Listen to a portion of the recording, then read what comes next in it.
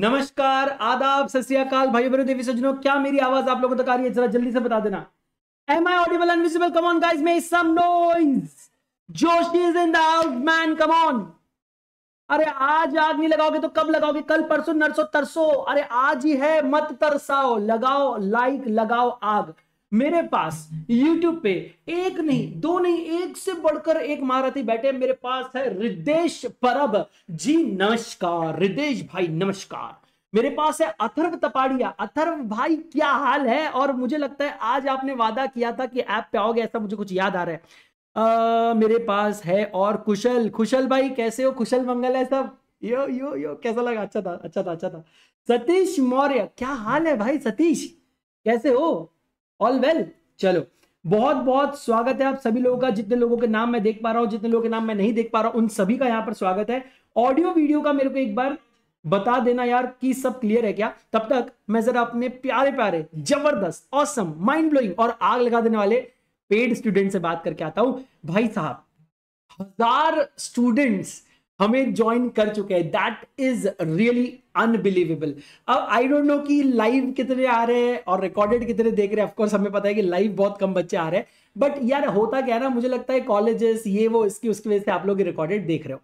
अगर आप रिकॉर्डेड देख रहे हो तो भी अपने होने का एहसास तो दो। एक यार टीचर स्टूडेंट का कनेक्ट तो बने। मुझे पता तो रहे कि आप हाँ मेरे साथ पढ़ रहे हो। आपकी क्वेरीज आपकी तकलीफ़ मुझ तक पहुँचे। इसके लिए थोड़ा सा थोड़ा सा थोड़ा सा कमेंट वमेंट करो यार। थोड़ा बताओ मुझे कौन कौन है, कौन नहीं। आज अमनदीप अरोरा से बात करने वाला हूँ मैं। हेलो अमनदीप। हेलो अथर्व। और अच्छा दो अथर्व है क्या हमारे पास? ओ, भाई साहब। अरे, नहीं नहीं नहीं नहीं, ये शाना बच्चा इधर भी है, उधर। भाई, मैं वही तो सोचू कि ऐसा क्या हो रहा है। अतर भाई बहुत बहुत स्वागत है आपका दोनों ही जगह पे। अनुष्का, राघव, पूजा, कबीर, अजीत, आर्यन, सर्विका, मुस्कान, सुष्मिता, विनया, सुमित, अंजलि, श्रुति, कार्तिक। और आया भाई। आया रे भाई, आया। कार्तिक आया भाई। चलो, अपनी बहन से कुछ तो सीखा भाई। एक नंबर। कार्तिक भाई, बहुत अच्छा लग रहा है आपको देख के। सलोनी, एकता, नया नाम। नया नाम आज इससे ज़रूर बात करेंगे। सोनू कुमार, नया नाम, ज़रूर बात करेंगे। हेलो, सत्यम। रिदेश? भाई, तुम लोग ये कर क्या रहे हो भाई? इधर उधर हर जगह। या वहाँ, सारा जहाँ देख लिया हर जगह भाई आग लगा रहे वेरी गुड उसके बाद सर्विका है, सतीश है, रोशन बुजेल। बहुत अच्छा बहुत बहुत स्वागत है। कौन कौन नया आया? जरा कमॉन मेक सम नॉइज़ यहाँ पे पेड वाले में कौन कौन आया? यस अजीत भाई came to the app very good Ajit, आज आपसे भी बात करेंगे। अनुष्का राजभर, आप भी नए आपका भी नाम नया है, मैं आपसे भी बात करूँगा। आर्यन भाई, तुम रहने दो बेटा। तुम डे वन से सपोर्ट कर रहे हो, तुम नए नहीं हो, तुम अपने खुद के हो। भाई, आ जाओ। हाँ जी। और कौन कौन नया है? Hello hello hello hello Ekta madam, नमस्कार। आज सभी से बात होगी। चलिए, पढ़ाई क्लियर कर ले, चालू कर दे पढ़ाई। हाँ भाई, सुमन मैडम, कैसे हो? वेरी गुड सलोनी, आपसे भी बात करेंगे आज। बहुत सारे बच्चों से बात करना नए नए बच्चे हैंड रेस करके बैठना। मैं आप सबकी मधुर आवाज़ सुनना चाहता हूँ। और गोइंग फॉरवर्ड बहुत लंबा क्लास है। सभी स्टूडेंट से हम लोग बात करते करते चलेंगे, है ना? चलो तो भाई, आज शुरू कर देते हैं हमारा class reservation of name reservation of name start करने से पहले मैंने आपको कल एक होमवर्क दिया था। कितने लोगों ने किया? नहीं, पूरी ईमानदारी से ऐसे झूठ मत बोलना। पहली बात झूठ मत बोलना, ईमानदारी से बताना। हाँ तो हाँ नहीं तो नहीं। बोलो। किया किया कि नहीं किया? और कल टेस्ट है, पता है ना? ए भाई, कल टेस्ट है, मालूम है ना तुम लोग को? हाँ कल टेस्ट पेपर में अपलोड कर रहा हूँ अपने टेलीग्राम चैनल पे। और उसके बाद उसका आंसर पेपर भी होगा, उसका डिस्कशन भी हम लोग यहाँ लाइव क्लास के अंदर करने वाले हैं। तो आई होप कि आप लोग प्रिपेयर्ड हो। आज का दिन है, बेटा, पढ़ लेना पूरी ईमानदारी से, पूरी शिद्दत से, पूरी मेहनत से और आप अटेंड कर लेना, ठीक है? चलो। तो भाई मेमोरेंडम कल हम लोगों ने किया था स्टार्ट मेमोरेंडम के अंदर बहुत सारे क्लॉज है name clause address clause object clause liability clause capital clause association clause और अगर ओपीसी है तो वहाँ पर नॉमिनेशन क्लॉज भी आ जाता है। नेम क्लॉज के अंदर मैंने आपको बताया था कि आप अगर कंपनी है तो आपके अपने नाम के आगे private limited, public limited, one person company limited, government company है तो लिमिटेड, ये आपको लगाना पड़ता है। अगर आप आईएफएससी कंपनीज़ हो तो IFSC public limited IFSC private limited edge case में भी ये भी आपको बताना पड़ता है। आईएफएससी कंपनीज़ के बारे में मैंने डिटेल्स आपको बता रखे हैं। सेक्शन एट कंपनीज़ को प्राइवेट लिमिटेड, पब्लिक लिमिटेड, ये सारे लफड़े कुछ है नहीं। उनको जैसे ही सेक्शन एट का लाइसेंस मिलता है, उनको अपने नाम से प्राइवेट लिमिटेड लिमिटेड हटा देना होता है। वो foundation confederation chamber of commerce और ऐसे कोई भी वर्ड्स यूज़ कर सकते हैं। कल हमने दो सेक्शन एट कंपनीज़ भी देखी। याद है कि नहीं? टाटा फाउंडेशन देखा और अजीम प्रेम जी का भी फाउंडेशन देखा। मैंने आपको रिलायंस फाउंडेशन के बारे में भी बताया, जहाँ से मुझे स्कॉलरशिप मिली थी। उसके बाद मैंने आपको बताया था कि आप लोगों को प्रोसेस क्या करना है? रिज़र्व यूनिक नेम का फॉर्म फिलअप करना है एक यूनिक नेम अपने लिए रिज़र्व करना है और उसके बाद आप विद इन फिफ्टीन डेज़ आप वो फॉर्म रीसबमिट भी कर सकते हो अगर उसमें कोई डिफेक्ट हो जाता है तो। डोंट तो वरी आपके पैसे डूबेंगे नहीं आपको करेक्शन ऑफ़ एरर करने का मौका मिलेगा। सर नाम नाम फाइनलाइज करने से पहले एक चीज़ ध्यान से सुन लेना। आपका जो नाम है ना बेटा आपका जो नाम है आ, हर जगह पे ऑडियो वीडियो क्लियर है ना? हाँ। आपका जो नाम है ना बेटा वो आइडेंटिकल नहीं होना चाहिए या रिसेंबल टू मच नहीं होना चाहिए किसी एग्जिस्टिंग कंपनी से, ठीक है? वो चाहे इस एक्ट के अंदर बनी हो, चाहे प्रीवियस एक्ट के अंदर बनी हो, ठीक है? अदरवाइज़ ऑफेंस हो जाने वाला है, ठीक है? आपका नाम अनडिजायरेबल भी नहीं होना चाहिए एज पर गवर्नमेंट सेंट्रल गवर्नमेंट मैंने आपको ये होमवर्क दिया था कि कल आप पढ़ के आइएगा इलस्ट्रेशन की क्या क्या अनडिजायरेबल नाम होते हैं, ठीक है? ऐसा भी कोई वर्ड आपके नाम में नहीं होना चाहिए जिसको पढ़ के ऐसा लगे कि आप स्टेट गवर्नमेंट सेंट्रल गवर्नमेंट के एजेंट हो या उनकी तरफ़ से आप कंपनीज़ बना रहे हो। प्लस आपके नाम में board commission authority undertaking national और ये पॉइंट नंबर ई में जितने भी वर्ड्स दिख रहे हैं, ये सारे वर्ड्स आप नहीं यूज़ कर सकते without express permission from the respective authority अच्छा अब मैंने कल कुछ केसेस बताए थे, जैसे green technology and greens technology तो ये ग्रीन्स टेक्नोलॉजी हम अलाउ नहीं करेंगे। तो सिर्फ़ अगर आप बोलते ना प्लूरल और सिंगुलर में चेंज कर रहे हो तो अलाउड नहीं होगा। ठीक है? लेटर्स के बीच में स्पेस डाल दिया डॉट डाल दिया अलाउड नहीं है। टेंस चेंज कर दिया अलाउड नहीं है। स्पेलिंग चेंज कर दी अलाउड नहीं है। फोनेटिक स्पेलिंग रख ली अलाउड नहीं है। अगर आप ट्रांसलेशन या ट्रांसलिटरेशन कर रहे हो, वो भी अलाउड नहीं है। डोमेन डाल दिया डब्ल्यू डब्ल्यू डब्ल्यू या dot com dot O R G dot A, B, C whatever वो भी अलाउड नहीं है। फिर मैंने आपको बताया कि अगर आप वर्ड के ऑर्डर्स चेंज कर रहे हो फॉर एग्ज़ाम्पल रवि बिल्डर से रवि कॉन्ट्रैक्टर तो मतलब बिल्डर एंड कॉन्ट्रैक्टर की जगह कॉन्ट्रैक्टर एंड बिल्डर कर दिया, ये भी अलाउड नहीं होगा। आप इनडेफिनेट आर्टिकल और डेफिनेट आर्टिकल में अगर चेंज कर रहे हो for example congenial tours limited को आपने अ कॉन्जेनियल टूर्स लिमिटेड या द कॉन्जेनियल कर दिया अलाउड नहीं होगा। इसके अलावा मैंने बोला कि आप अगर नेम या प्लेस ऐड कर रहे हो एग्जिस्टिंग नेम को तो भी अलाउड नहीं होगा। फॉर एग्ज़ाम्पल एक अगर ऑलरेडी कंपनी है सेल्वेज टेक्नोलॉजीज़ आप उसमें क्या कर रहे हो? सेल्वेज टेक्नोलॉजीज़ दिल्ली लिमिटेड नहीं चलेगा। हाँ एक चीज़ चलेगी। अगर आपका ऑलरेडी नाम से for example retro pharmaceutical Ranchi limited है तो कोई और व्यक्ति रेट्रो फार्मास्यूटिकल चेन्नई लिमिटेड बना सकता है, क्योंकि आपने खुद अपने आप को एक सिटी के नाम से रोक दिया था।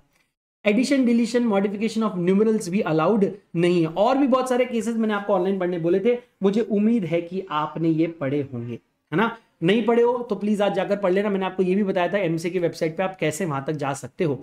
अगर बेटा सीए इंटर में आके आज भी अगर आप एमसी के वेबसाइट पे लॉ बेयर एक्ट और रूल्स नहीं देख पा रहे हो तो ज़िंदा क्यों हो तुम? अरे मज़ाक करो बट आपको सच में सोचना पड़ेगा, यहाँ स्पून फीडिंग की दुनिया खत्म होगी अब आप सेल्फ इंडिपेंडेंट रिलायंट और कैपेबल होने चाहिए, है ना? तो अब आपको किसी आदर्श जोशी की ज़रूरत नहीं पड़नी चाहिए ये बताने के लिए कि कौन सी चीज़ कहाँ से डाउनलोड करनी है। तो मैं फिर से आपको कहूँगा, पूरी जान लगाओ, पूरा मन लगाओ, थोड़ा प्रैक्टिकल एस्पेक्ट भी समझो और फिर देखो ये सब्जेक्ट कितना इंटरेस्टिंग बन जाता है ना? आज हम बात करेंगे रिजर्वेशन ऑफ़ नेम के बारे में सब सेक्शन फाइव चलिए शुरू करते हैं। Upon receipt of an application to the registrar जो हमने रन फॉर्म में डाला and on the basis of the information and documents furnished along with the application reserve the name for a period of twenty days from the date of approval और such other period कहा गया है कि अगर आपका application सही रहा, सब कुछ सही हो रहा है तो हम आपके लिए वो नाम 20 डेज़ के लिए प्रिजर्व करके रख देंगे। ठीक है? अब एक और चीज़ सुन लो। प्रोवाइडेड दैट ये कौन सा केस है? अगर आप नया कंपनी ओपन करने जा रहे हो तो।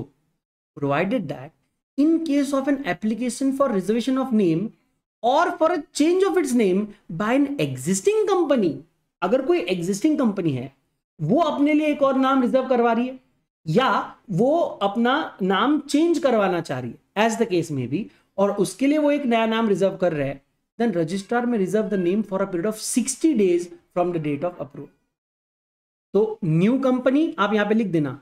न्यू कंपनी ट्वेंटी डेज़ के लिए रिज़र्व करके रखेंगे। बट अगर एग्जिस्टिंग कंपनी है एग्जिस्टिंग कंपनी है उनको चेंज करना है तो सिक्सटी डेज़ अब इसका रैशनल क्या है? सर एग्जिस्टिंग कंपनीज़ को जब नाम चेंज करना होता है उनको ज़्यादा लीगल ऑब्लिगेशंस फॉलो करने होते हैं बिकॉज़ वो ऑलरेडी किसी एक नाम से अपना बिज़नेस कर रहे हैं। तो उन, उन्होंने सारे अपने कॉन्ट्रैक्ट्स ओल्ड नाम से किए होंगे। उनके एम्प्लॉयज़ को जो ऑफ़र लेटर गया ओल्ड नाम से होगा। उनके letter head visiting card office के ऊपर के बोर्ड से तो लेके हर जगह पे उनका एक ऑलरेडी एक नाम चल रहा है। अब वो उस नाम को चेंज करके नए नाम के लिए आ रहे हैं। एंड डेफिनेट सी बात है कि इस पूरे प्रोसेस में वक्त ज़्यादा लगेगा प्रोसीजर ज़्यादा इन्वॉल्व होगी और चीज़ें थोड़ी स्ट्रिक्ट होगी। And therefore it is possible that twenty days में शायद वो ये सब कुछ ना कर पाए। And therefore in case of existing company जो अपना नाम चेंज करवाना चाहते हैं हम उन लोगों के लिए सिक्सटी डेज़ के लिए नाम रिज़र्व कर रहे हैं। सर, नए कंपनी के लिए twenty days is enough why why is it enough because उनको कोई और ऐसे अलग से कंप्लायंस नहीं करने, सिर्फ़ सेक्शन थ्री के जो हमने कंप्लायंसेस बोले, बस आपको उतने करने। देर उनके लिए ट्वेंटी डेज़ और इनके लिए सिक्सटी डेज़ याद रहेगा। अगर आप इसका लॉजिक ध्यान में रखते हो तो आपको याद रहना चाहिए, है ना? समझ में अथर्व, एकदम करेक्ट बोला बेटा आपने। एकदम करेक्ट चलो। क्या कोविड प्राइवेट लिमिटेड ए भगवान ये देखो कार्तिक को देखो आया तो आया क्लास में मस्ती करने आया बहुत अच्छे बेटा while allotting name the registrar of the companies should exercise due care to ensure that the names are not in contravention of the provisions of emblems and names prevention of improper use act 1950 it is necessary that registrars are fully familiar with the provisions of the said act sir हम लोगों ने ये जो rule है ना, ये आपके मेरे लिए नहीं है। ये सेंट्रल गवर्नमेंट के लिए बना हुआ है। यानी आरओसी आरओसी के लिए बना हुआ है ये। आरओसी को कहा जा रहा है कि भैया ध्यान से रुको जब आप किसी के लिए भी कोई नाम रजिस्टर करने जाओ या रिज़र्व करने जाओ, एक चीज़ ध्यान रखना कि emblems and names prevention of improper use act 1950 को आप फॉलो करें। ठीक है? कहीं ऐसा ना हो कि हमारे जो एंबुलेंस है या जो इंपॉर्टेंट वर्ड फॉर एग्ज़ाम्पल तिरंगा ये ऐसे चीज़ें यूज़ होकर कोई कंपनी ना बन जाए। ठीक है? उसका ध्यान रखेंगे। An application for extension of reservation of name under rule nine A of the companies incorporation rule can be made before expiry of the twenty days for another twenty days that is a total period of forty days with a fee of rupees one thousand which may be further extended by another twenty days यानी कि total sixty days हो जाएँगे with a fee of rupees two thousand या आप उसको another 40 days के लिए कि टोटल 60 डेज़ के लिए एक साथ भी आप एक्सटेंड करा सकते हो with the fee of thirty three thousand rupees sir बड़ा सिंपल है। देखो, हम आपको तकलीफ़ देने के लिए नहीं आए। आपके लिए हमने free of cost twenty days के लिए फ्री ऑफ़ कॉस्ट फ़ीस लेकर हमने ट्वेंटी डेज़ के लिए रिज़र्व रखा। अब आप नए कंपनी हो, अगर कोई प्रॉब्लम आ गई कुछ डॉक्यूमेंटल प्रॉब्लम आ गई, कोई भी टेक्निकल इशू आ गया, और आपको लगता है बीस दिन में ये नाम आप रजिस्टर नहीं कर पाएँगे तो मैं आपको मना नहीं कर रहा हूँ। मैं आपको और बीस दिन के लिए, आप सिर्फ़ एक हज़ार का फ़ीस दो, एक हज़ार का फाइन दो एक्सटेंशन दो, मैं एक बीस दिन के लिए और एक्सटेंड कर दूँ। फिर से अगर आप एक्सटेंड करवाना चाहते हैं, मैं फिर से बीस दिन के लिए एक्सटेंड करवा दूँगा, आप मुझे दो हज़ार का फ़ीस दे देना, यानी कि टोटल सिक्सटी डेज़ तक मैं आपके लिए एक्सटेंशन करके रख सकता हूँ। फ़ीस लेते रहूँगा।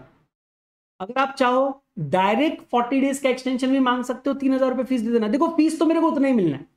आप पीस मिल करके बीस बीस दिन बढ़ाओ तो भी आपको तीन हज़ार रुपए देना है, पहले एक हज़ार, फिर दो हज़ार। आप एक साथ चालीस दिन बढ़ा लो तो भी आपको तीन हज़ार देना है एक साथ। तो चॉइस आपका है कि ट्वेंटी डेज़ का एक्सटेंशन चाहिए या आपको टोटल फोर्टी डेज़ का एक्सटेंशन एक साथ चाहिए। चॉइस आपकी है। मैं सजेस्ट करता हूँ, अगर आप पैसा बचाना चाहते हो तो पहले बीस दिन का एक्सटेंशन लो। हो सकता है उसके बीच में आपका काम हो जाए। और नहीं हो रहा है अगर तो फिर से और बीस दिन का एक्सटेंशन ले लो, दो हज़ार रुपए पे कर दो। टोटल आपके तीन हज़ार रुपए जाएँगे बट एक पॉसिबिलिटी बन जाती है पैसे बच जाने की, है ना?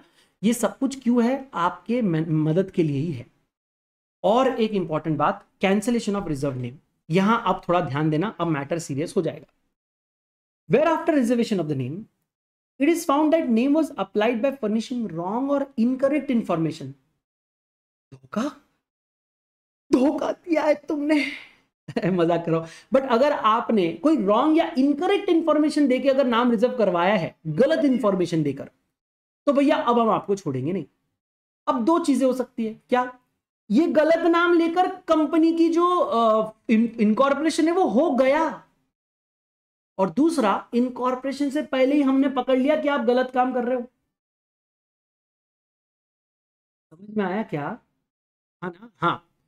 So if the company has not been incorporated जरा हाईलाइट करना। The reserved name shall be cancelled and the person who has made the application shall be liable to a penalty which may extend to one lakh rupees अभी देखो, मैंने आप पे fine लगाया है, लेकिन ये फाइन भी मुझे कम लगता है। और ये फाइन मैंने कम इसलिए लगाया है, ध्यान से सुनना, बेटा, क्योंकि अभी आप बच गए हो कंपनी इनकॉर्पोरेट नहीं हुई। वरना एक अलग ही लेवल के लफड़े हो जाते हैं हम आगे पढ़ने वाले। समझ में आ रहा है? एंड देर अभी आप बहुत सस्ते में बच गए हो। अभी आपको एक लाख रुपए का फाइन लग रहा है। ठीक है? चल। अगर कंपनी बन गई है, अब आप, अब मैटर हो गया खत्म। अगर कंपनी बन चुकी है देन कंपनी को R O O B H दिया जाएगा। Sir R O B H reasonable opportunity of being heard दिया जाएगा।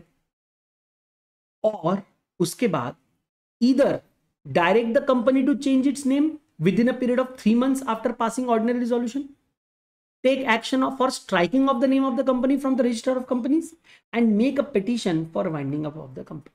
ये तीन पॉसिबिलिटीज हो सकते हैं। एक, मैं आपको बोलूँगा, ईमानदारी से अगले तीन महीने के अंदर अपना नाम बदल लो। दूसरा, मैं सीधा आपका नाम रजिस्टर ऑफ़ कंपनी से काट दूँगा, यानी you will not be a company for me any more and तीसरा, मैं आपका वाइंडिंग अप का प्रोसेस शुरू कर दूँगा। आप जाइए अपने घर, मैं जाऊँगा अपने घर। चाहिए नहीं मेरे को लफड़े भाई। तुम गलत इंफॉर्मेशन देके कंपनी बना रहे हाँ। नीच इंसान mister Anil Desai has applied for reservation of company name with a prefix Sawariya आ आ आ आ सावरिया टावेल वाला सावरिया रे हाँ वो वो टावेल वाला टावेल वाला नहीं हाँ he claim that the prefix Sawariya is a registered trademark in his name बोलता है, सावरिया का रजिस्टर्ड ट्रेडमार्क मैंने कर रखा है, मेरा है. अब इस बात पे भरोसा करके हमने उसको सावरिया नाम इस्तेमाल करने का मौका दे दिया। बाद में पता चला कि जो सावरिया, ये जो वर्ड है, इसका कोई रजिस्ट्रेशन नहीं है मिस्टर अनिल देसाई के नाम पे। यानी आपने हमको झूठ बोलकर ये नाम अपने लिए रखवाया। ठीक है? अब हुआ क्या? It was held that form company was created वो भी इनकरेक्ट डॉक्यूमेंट इंफॉर्मेशन देकर। ऐसे में will take action as per the provision of the act after giving company reasonable opportunity of being heard आप मुझे बताएँगे what actions ROC can take sir action number one आपको अनिल देसाई को बोला जाएगा, अगले तीन महीनों के अंदर अपना नाम बदलो। एक्शन नंबर टू डायरेक्टली इस कंपनी का नाम रजिस्टर ऑफ़ कंपनीज़ में से स्ट्राइक ऑफ़ कर दिया जाएगा। यानी it will not be company any more and action number three ये कंपनी का वाइंडिंग अप शुरू कर दिया जाएगा। ये तीनों पावर्स आर के पास है। ध्यान रखना ये चीज़। समझ में आ रहा है? पक्का? तो भाई भूलोगे नहीं ना? कैंसिलेशन ऑफ़ रिज़र्व नेम तो ये कब कैंसिल होता है? सुनो, जब हमें पता चलता है कि आपने हमें गलत इंफॉर्मेशन देकर आपने अपनी कंपनी बनवाई है। कंपनी बनी नहीं होगी तो आप सिर्फ़ फाइन भर के बच जाओगे। लेकिन अगर कंपनी बन गई तो तीन रास्ते हैं। नंबर वन तीन महीने में चेंज करो strike off the name winding up of the company इन सारे कंसेप्ट के छोटे छोटे चार्ट्स बन सकते हैं, जो मुझे पर्सनली लगता है एक स्टिकी नोट्स पे बनाकर आपने यहाँ पर चिपकाने चाहिए। ठीक है? मैं आपको एक चार्ट बनाकर दिखाता हूँ जस्ट इन केस कि आपको पता चले कि कैसे ये चार्ट्स बनेंगे, है ना? चल, ठीक। तो अब देखो, यहाँ पर आप ऊपर लिखेंगे cancel of cancellation of reserved name sir आप ऐसे क्यों लिखवा रहे हो चार्ट्स बिकॉज़ बेटा मुझे लगता है आप लोगों ने चार्ट्स बनाने चाहिए। ठीक है? तो अब यहाँ पर क्या होगा? एक काम करते रुको रुको रुको रुको रुको रुको वेट वेट बेटा वेट वेट वेट जहाँ मैं जाती हूँ, वहीं चले आते हो। चोरी चोरी मेरे दिल में समाते हो। ये तो बताओ कि तुम मेरे कौन हो? स्टूडेंट्स ए भाई ए भाई थोड़ा छोटा हो जाना भाई। हाँ। ये देखो हमारे घर पे चिल्ला पुकार तो मतलब ऐसा चल रहा है लाइफ में। मैंने आपको बताया ना कुछ गेस्ट आए हुए। ये देखो गेस्ट आए हुए और किया ना मैडम चिल्ला रही है बेरहमी से। सो सॉरी फॉर दैट है ना? प्लीज़ माफ़ कर देना बेटा मुझे। तो cancellation of reservation of name दो केस में होगा। आ, यार सॉरी सॉरी माय बैड यार माय बैड मेरे को भी कोई ऐसा चिल्लाए ना तो मेरा भी दिमाग चलना बंद हो जाता है। हाँ यहाँ पे इफ़ रॉन्ग पर्टिकुलर्स रॉन्ग और इनकरेक्ट पर्टिकुलर्स गिवन अगर रॉन्ग और इनकरेक्ट पर्टिकुलर्स आप दोगे तो भैया हम आपका नाम जो रिज़र्व करके रखा हुआ है कैंसिल कर देंगे।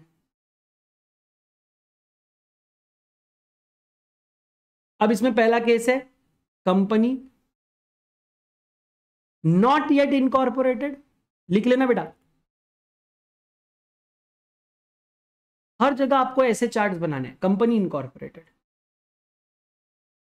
company incorporated sir, अगर अभी तक कंपनी बनी नहीं है तो आपको क्या मिलेगा? सिर्फ़ सजा मिलेगी। ठीक है? तो हमने जो नाम आपके लिए रिज़र्व करा है, वो हम कैंसिल कर देंगे।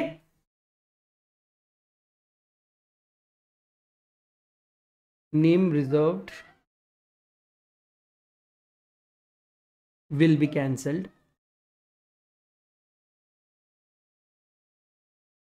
Then applicant will be fined.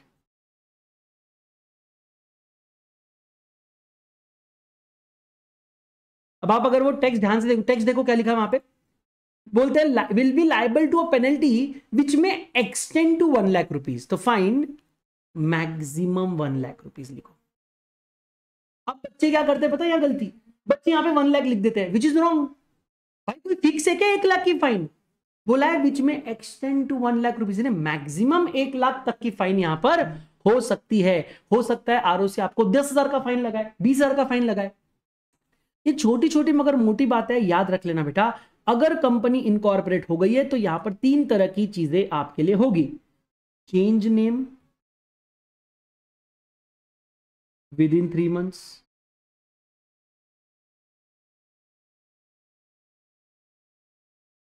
strike off name from register of company. अब यहाँ बच्चे रजिस्ट्रार लिख देंगे। उनका मैं कुछ नहीं कर सकता। जो नींद में है ना, जागो ग्राहक, जागो। अभी नहीं जागोगे तो कब जागोगे? एंड अप्लाई फॉर अप्लाई नहीं बोलूँगा इनिशिएट बाइंडिंग अप बोलूँगा मैं। अप्लाई थोड़ी ना करेंगे वो। Initiate winding up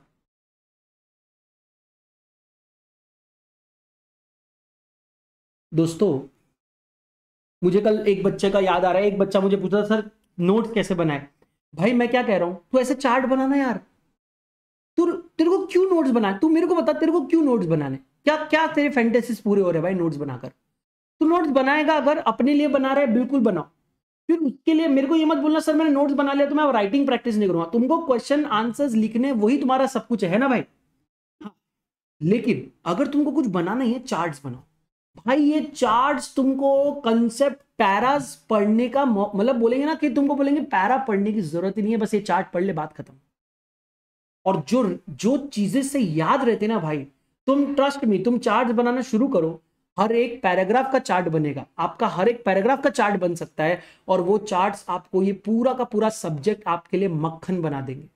कोई कंसेप्ट ऐसी नहीं रहेगी जो आप एक दिन के अंदर रिवाइज नहीं कर पाओगे। हर कंसेप्ट इजीली रिविजिबल हो जाएगी। तो यही है चीज़, यही मैं आपसे कह रहा हूँ। बाकी आपकी मर्ज़ी, आप मेरे से ज़्यादा जानते हैं। Situation clause section four subsection one clause B situation clause पे हम लोग आ रहे हैं। मेरे क्लास के बच्चे कहाँ हैं? All well suppose sir? आप ऐसे चार्ट बनवाओ ना प्लीज़ हर चैप्टर के लिए। बिल्कुल पूजा मैडम चार्ट्स में बनाते आऊँगा जहाँ जहाँ मुझे लगता है बनाना ज़रूरी है। इंपॉर्टेंट कंसेप्ट में बनाऊँगा। इसके अलावा मैंने आपको ऑलरेडी बताया कि हम चार्ट बुक पे भी काम मैंने शुरू कर दिया है। थोड़ा टाइम लगेगा, लेकिन पूरा चार्ट बुक आ जाएगा। बट मैं आपको फिर भी कहता हूँ, देखो, मुझे तो पैसा मिलने वाला है। लेकिन मैं यहाँ पर पैसे के लिए नहीं आया हूँ। मुझे आपको अच्छा कंटेंट देना है। मैं उसके लिए यहाँ पर आया हूँ। मैं जो चार्ट बनवा रहा हूँ, ये आप ही के लिए है ताकि आपको किसी और बुक की ज़रूरत ना पड़े और आप अमेजिंग तरह से मार्क्स लेकर आ सको। फिर भी अगर आप आलस करोगे तो अल्टीमेटली आपके पास चार्ट बुक खरीदने के अलावा कोई ऑप्शन नहीं रहेगा। बट प्लीज़ प्लीज़ प्लीज़ खुद के बने हुए चार्ट आप बनाकर तो देखो क्या मक्खन चार्ट बनेगा और क्या मज़ा आएगा आपको उनमें से पढ़ने। ठीक है? एक बार ज़रूर देख लेना। बिल्कुल बिल्कुल। मैंने रील में भी बनाया था। Yes Sumit thank you so much for watching the reels as well मैंने उसमें बताया था चार्ट बनाना है। चलिए situation clause section four subsection one clause B requires the memorandum of a company shall mention the name of the state where the registered office of the company is proposed to be situated. Sir propose क्यों? Company अभी तक incorporate नहीं हुई है। ठीक है? अभी आपने सिर्फ़ मेमोरेंडम बनाया है। और मेमोरेंडम के अंदर आपको पूछा जा रहा है कि आपका ऑफ़िस कहाँ है। तो सीधी सी बात है भाई, अभी तो कंपनी बना रहे हो सकता है ऑफ़िस ना बनाओ। तो आप हमें यह बता दो कौन से स्टेट में, कौन से स्टेट में आपका रजिस्टर्ड ऑफ़िस बनने वाला है? बस ये बता दो। स्टेट तो बता, यार स्टेट तो पता रही ना आपको। अगर आपको स्टेट नहीं पता रही तो कैसा होएगा मुन्ना? फिर तुम कौन से आरओसी के पास एप्लीकेशन कर रहे हो, है ना? लाइक ठोक देना लाइक ठोक देना। अगर लाइक नहीं ठोकर लाइक कम है लाइक ठोको, ठीक है? चलो तो आप मेरे को स्टेट बता दो।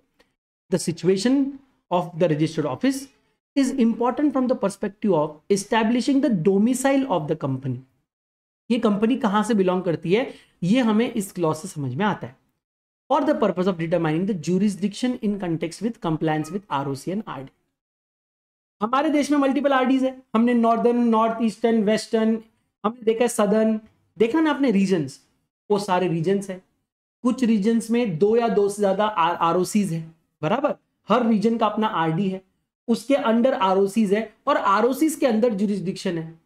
हमें ये जानना है कि आप कौन से आरओसी के अंडर आते हो, ताकि हमें पता चल जाए आप कौन से आरडी के अंदर आते हो और वो आपका कंप्लायंस पूरा करवाए। जुडिशियल एस्पेक्ट्स हमको पता चलेंगे। अगर आपको कुछ दिक्कत आती है तो आप कहा जाते हो? सर, हम तो उठ के कोर्ट चले जाते हैं ट्रिब्यूनल के पास चले जाते हैं। कौन से ट्रिब्यूनल के पास जाओगे? बताओ ना, भारत के कौन से एनसीएलटी के पास जाओगे? सर, जिस एनसीएलटी के जुरिस्डिक्शन में हम आते हैं बेटा कंपनीज़ एक्ट के अंदर अब स्पेशल कोर्ट्स बन चुकी है। तो मुझे बताओ ना, कौन से स्पेशल कोर्ट में जाओगे? सर, उस स्पेशल कोर्ट में जाएँगे, हमारा रजिस्टर्ड ऑफ़िस जिस स्पेशल कोर्ट के जुरिस्डिक्शन में आता है। एंड देयर फॉर नोइंग आपका लोकेशन क्या है रजिस्टर्ड ऑफ़िस का लोकेशन क्या है is extremely important for us because आपके रजिस्टर्ड ऑफ़िस के लोकेशन से ही डिसाइड होगा, आपका आरओसी कौन रहेगा, आपका रीजनल डायरेक्टर कौन सा रहेगा, आप कौन से एनसीएलटी के अंदर आते हो, आप कौन से एनसीएलएटी के अंदर आते हो, आप कौन से हाई कोर्ट के अंदर आते हो। सुप्रीम कोर्ट मत बोलना, क्योंकि हम सब एक ही सुप्रीम कोर्ट के अंदर आते हैं there is only one supreme apex body in the judicially system तो हम सब सुप्रीम कोर्ट ऑफ़ इंडिया के अंदर आते हैं बट हाई कोर्ट्स तो अलग अलग हो सकती है है ना? Yes place at which the company statutory books must normally be kept अगर पब्लिक कंपनी है तो जनरल मीटिंग में आपको बताना पड़ता है कि आपका रजिस्टर ऑफ़िस कहाँ है, कौन से सिटी में सिचुएटेड है। ठीक है? ये address acts as an address to which notice and other communication can be sent अगर आपसे किसी को गुफ्तगु करनी है, इन्हें बातें करनी है तो उन्हें वो बताओ ना किधर भेजे वो, कौन सा एड्रेस पे भेजे? भाई डिटेल्स बताओ ना, ये कहाँ पता चलेगा? आपके रजिस्टर्ड ऑफ़िस की जुरिस्डिक्शन से। अ कंपनी शैल याद रखना हाईलाइट कर देना within thirty days of its incorporation and at all times thereafter have a registered office capable of receiving and acknowledging all the communication and notices as may be addressed to it. यहाँ से key takeaway अगर आप sticky notes वाला कोई point मुझे बोलोगे तो वो ये है कि within thirty days of incorporation लिखो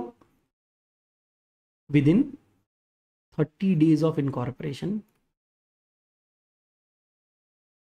आपका रजिस्टर्ड ऑफ़िस फाइनलाइज हो जाना चाहिए। आपका रजिस्टर्ड ऑफ़िस फाइनलाइज हो जाना चाहिए। समझ में आया क्या देखो?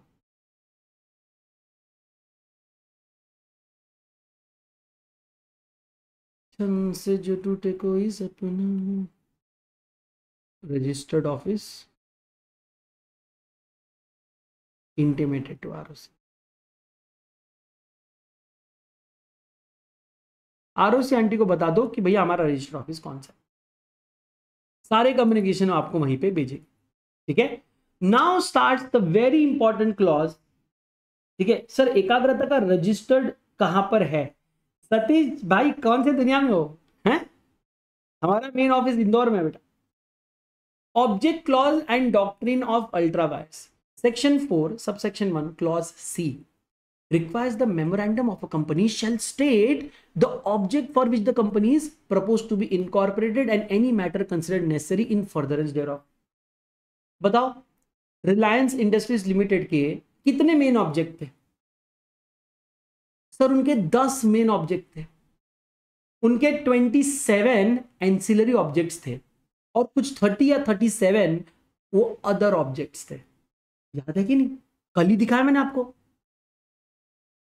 यस yes, तो आपका ऑब्जेक्ट क्लॉज मेरे हिसाब से मेमोरेंडम की जान है। मेमोरेंडम अगर किसी चीज़ के लिए सबसे ज़्यादा फ़ेमस है तो वो है ऑब्जेक्ट क्लॉज के लिए। जी सर ऑब्जेक्ट क्लॉज से क्या पता चलता है कंपनी के बारे में?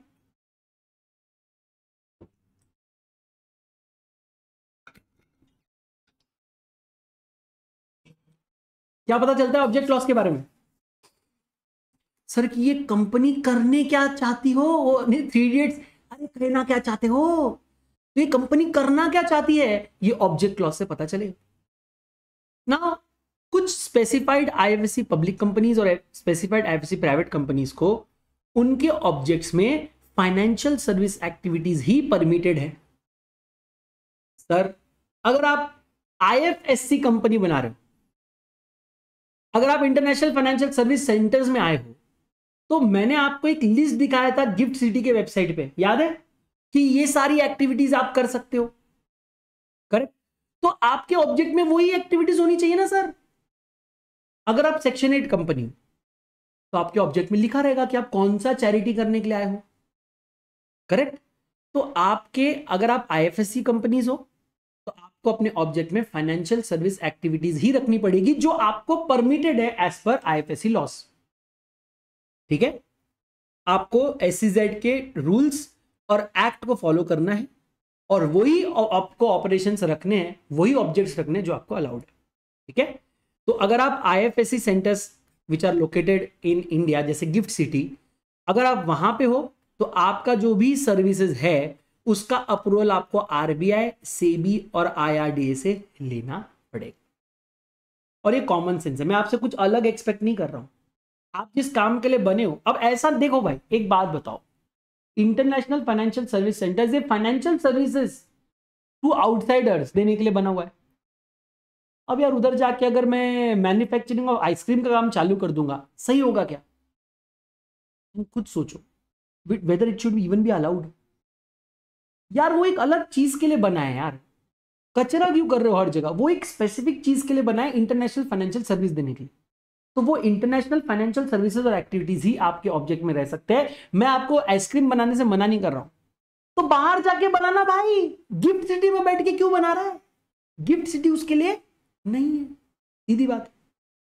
अब company can not depart away to do anything beyond और outside its object stated in the memorandum and if any act is done beyond that such act will be ultra wires the company and it will be void.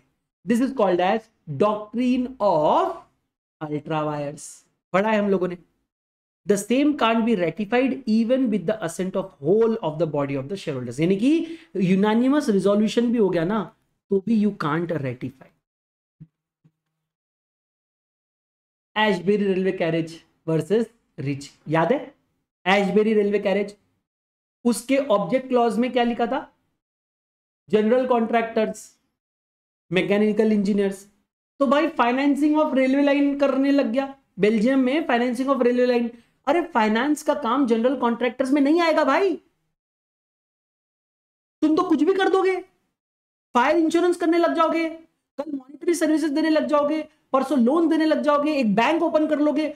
आप तो कुछ भी, आप dam बनाने लग जाओगे। अरे भैया, अगर जनरल कॉन्ट्रैक्टर का मीनिंग दुनिया का सबसे बड़ा मीनिंग ले लिया तो दुनिया का हर एक काम आपके एम्बिट में आ जाएगा।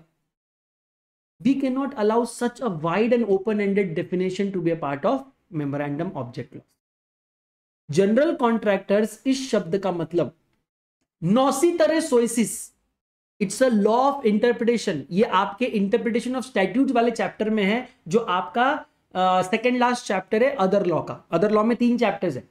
उसमें से सेकंड है। एक जनरल क्लॉज एक्ट है, एक इंटरप्रिटेशन ऑफ़ स्टैट्यूट और एक फेमा है। तो बीच में जो है ना, ये इंटरप्रिटेशन ऑफ़ स्टैट्यूट इसमें कंसेप्ट आता है नौस्ती तरह सोइसिस मतलब एक अगर जनरल वर्ड के आज एक स्पेसिफिक वर्ड्स के बाद अगर कोई एक जनरल वर्ड आता है तो उस जनरल वर्ड का मतलब आप उस स्पेसिफिक वर्ड से डिफाइन करके उसको लिमिट करेंगे।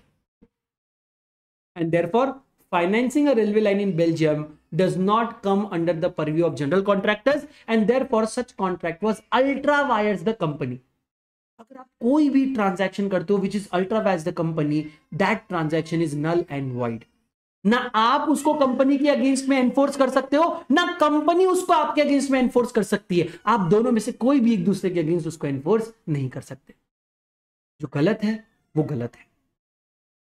पूरे कंपनी अगर एक मीटिंग में आके यूनानिमस रिजोल्यूशन भी पास कर देना सर तो भी वो रेटिफाई नहीं हो सकता। Ultra vires acts acts ultra vires to the authority of the director that can be ratified by the company बराबर अगर आप आर्टिकल के बियॉन्ड जाकर कुछ करते हो एक बार का मैं उसको रेटिफाई कर सकता हूँ लेकिन अगर आप मेमोरेंडम के बियॉन्ड जाके कुछ करोगे उसको भगवान भी सही नहीं कर सकता articles provide for regulation inside scope establish by the MO hence beyond, which are beyond ultra, uh, articles can be ratified by the shareholders provided relevant provisions are not beyond memorandum to illustrate of the director is authorized to issue a check of 10, 1 lakh. ठीक है या 10000 but he issued a check of 12000 ये गलत है। मैं मानता हूँ ये गलत है।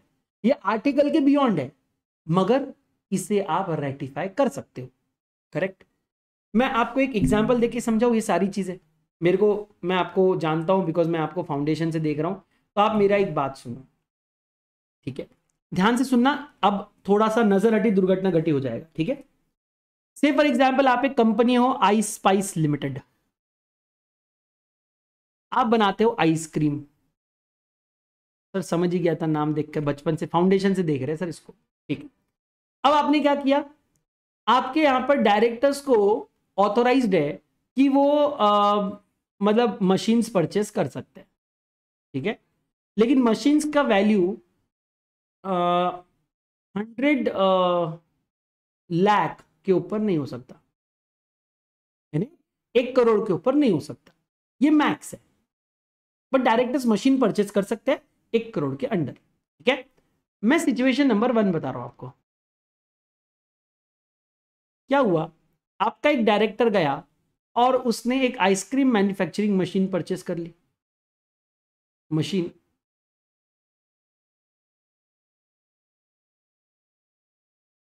to manufacture ice cream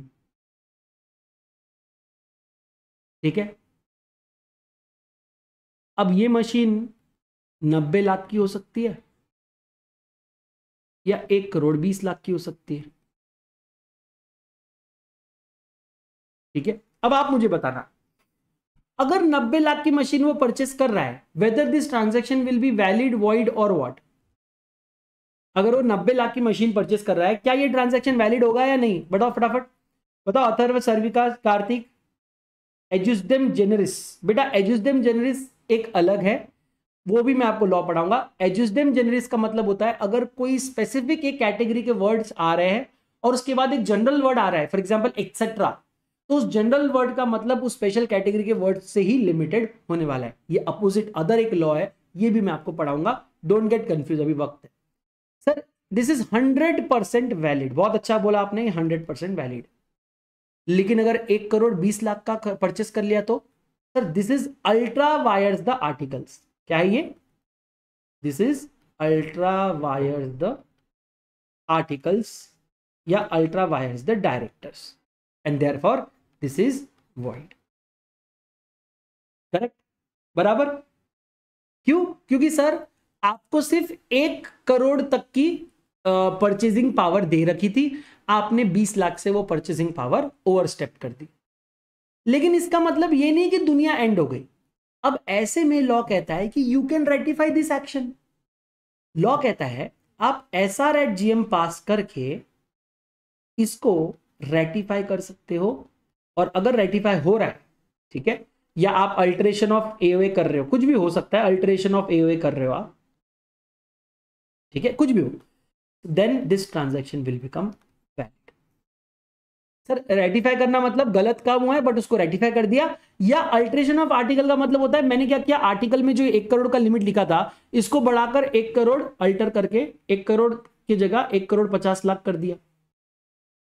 तो एक करोड़ पचास लाख है, और मैंने मशीन लिया एक करोड़ बीस लाख की तो ये बन गया वैलिड कॉन्ट्रैक्ट तो मैं इसको वैलिड कर सकता हूँ। लेकिन अब मैं आपको सिचुएशन नंबर टू बताता हूँ। Situation number two. Sir, say for example, आपके डायरेक्टर ने एक शू मैन्युफैक्चरिंग मशीन परचेस कर ली। और मशीन का वैल्यू है सिर्फ़ ट्वेंटी लाख रुपीस। अब बताओ क्या होगा? सर, एक करोड़ तक की तो हम मशीन ले सकते थे, ये तो बीस लाख की मशीन है, ये कॉन्ट्रैक्ट भी वैलिड होना चाहिए। Now the answer is no this contract is void sir why because आपका मेमोरेंडम ऑफ़ एसोसिएशन कहता है you are an ice cream manufacturing machine ice cream manufacturing company देखो यहाँ पे लिखा है। क्यों बने थे आप आइसक्रीम बनाने के लिए? और क्या मशीन परचेस कर रहे हो आप? शूज़ बनाने की। अब आइसक्रीम में जूते में डाल के आइसक्रीम खिलाएगा क्या तू? हवले this transaction is void this transaction is absolutely void and therefore ये ट्रांजेक्शन सर आप रेटिफाई भी नहीं कर सकते। ऊपर वाला भी आ गया ना भाई। अगर आप unanimous resolution at general meeting भी पास कर दिया ना तो भी this transaction can't be ratified आप इस गलत को सही नहीं कर सकते।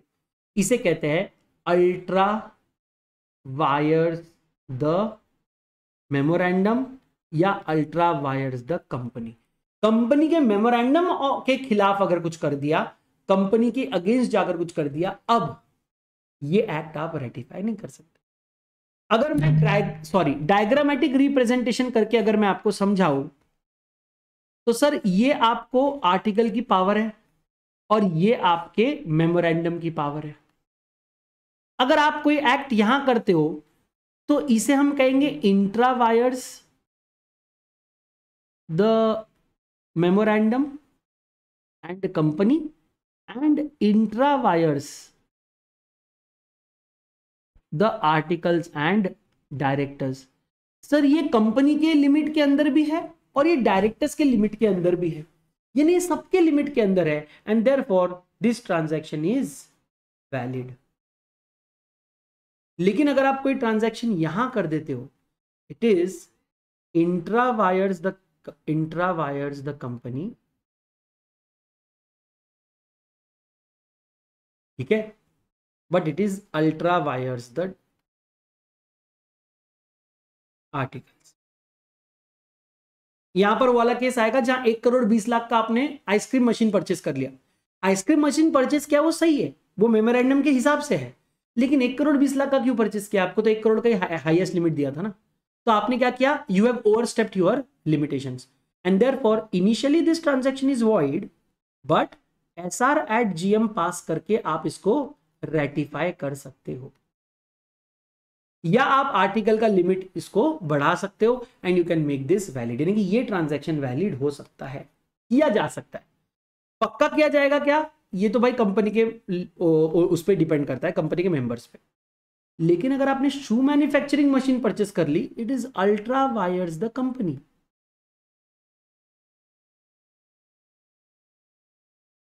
और भैया, इस, ये अल्ट्रा वायर्स है।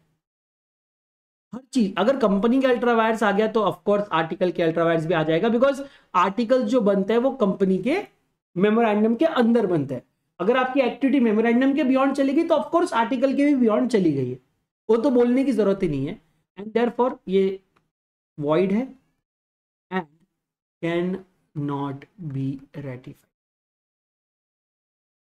भगवान भी आ जाए ना, यहाँ पे आप unanimous resolution at general meeting भी पास कर दिया ना तो भी it can not be ratified yes AOA एक बार का आप ठीक कर सकते हो। एओए देखो ना क्लियर दिख रहा है ना मैं एओए के ऊपर चला गया था वहाँ। बराबर? यहाँ मैं एओए के ऊपर चला गया था ना ये रेड वाले में। तो आ, क्या हो गया वहाँ पे? रेड वाले में एओए के ऊपर गया मैं। तो मैंने उसको रेटिफाई कर दिया। मैंने एक तो एओए के ऊपर लेके चले जाओ। या आपने वो एक पर्टिकुलर ट्रांजेक्शन रेटिफाई कर दिया। बट अगर मैं एमओए के ऊपर चला गया फिर भगवान भी कुछ नहीं कर सकता फिर गए। फिर गए। ठीक है? समझे सब लोग? एवरीवन यस पक्का प्रॉमिस कसम की कसम, है कसम से। लिख लो, फटाफट लिख दो।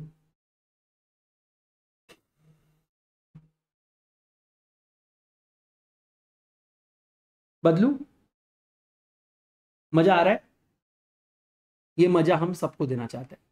जो लोगों ने ये क्लासेस लाइव मिस कर दी और रिकॉर्डेड देख रहे हैं, भैया, ये आखिरी क्लास है। कल से यहाँ पर आपको क्लास नहीं मिलेगा। कल से अगर आप क्लास देखना चाहते हो तो आपको ऐप पे आना पड़ेगा। और ये 50 परसेंट ऑफ़ का ऑलमोस्ट लास्ट डे है। ठीक है? तो प्लीज़ अपने फ्यूचर को सीरियसली लेके एक बार डिसाइड करो। एंड जल्दी निर्णय लो। It is worth noting here that memorandum of company can be altered to the widen the scope of the object, but such alteration will have prospective effect only. And not a retrospective effect अब ये prospective retrospective मुझे आपको समझाने दो नहीं समझाना ज़रूरी है भाई मज़ाक नहीं है प्रोस्पेक्टिव रेट्रोस्पेक्टिव बहुत बड़ा कंसेप्ट है देखो से फॉर एग्ज़ाम्पल एक कंपनी है छोटू मोटू लिमिटेड ये किड्स क्लोथ्स बनाते हैं, ठीक है? अब छोटू मोटू लिमिटेड के डायरेक्टर ने, ध्यान से देखना, इन लोगों ने क्या कर दिया? इन लोगों ने केमिकल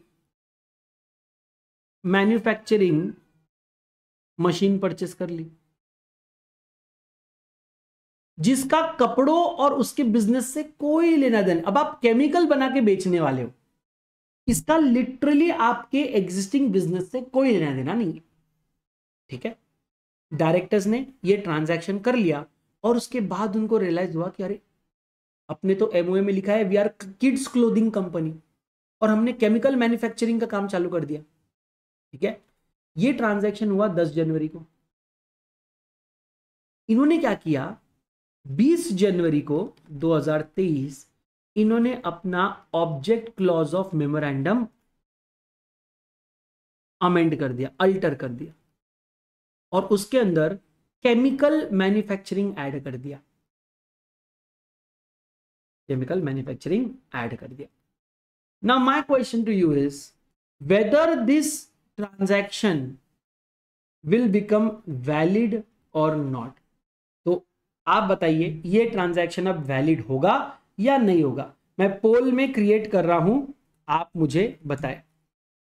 वैलिड नॉट वैलिड मैं याद रखना मैं फिर से बता दूँ देर इज़ अ चेंज आप लोगों ने चेंज कर दिया है इन द मेमोरेंड यूट्यूब वाले बच्चे भी आप मुझे बताएँगे यूट्यूब चैट्स में मैं आपको देख रहा हूँ। हम्म, आपके सामने बताओ। हम्म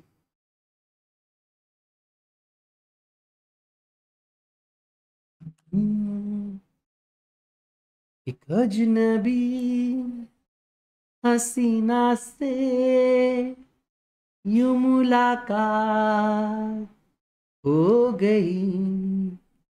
फिर क्या हुआ?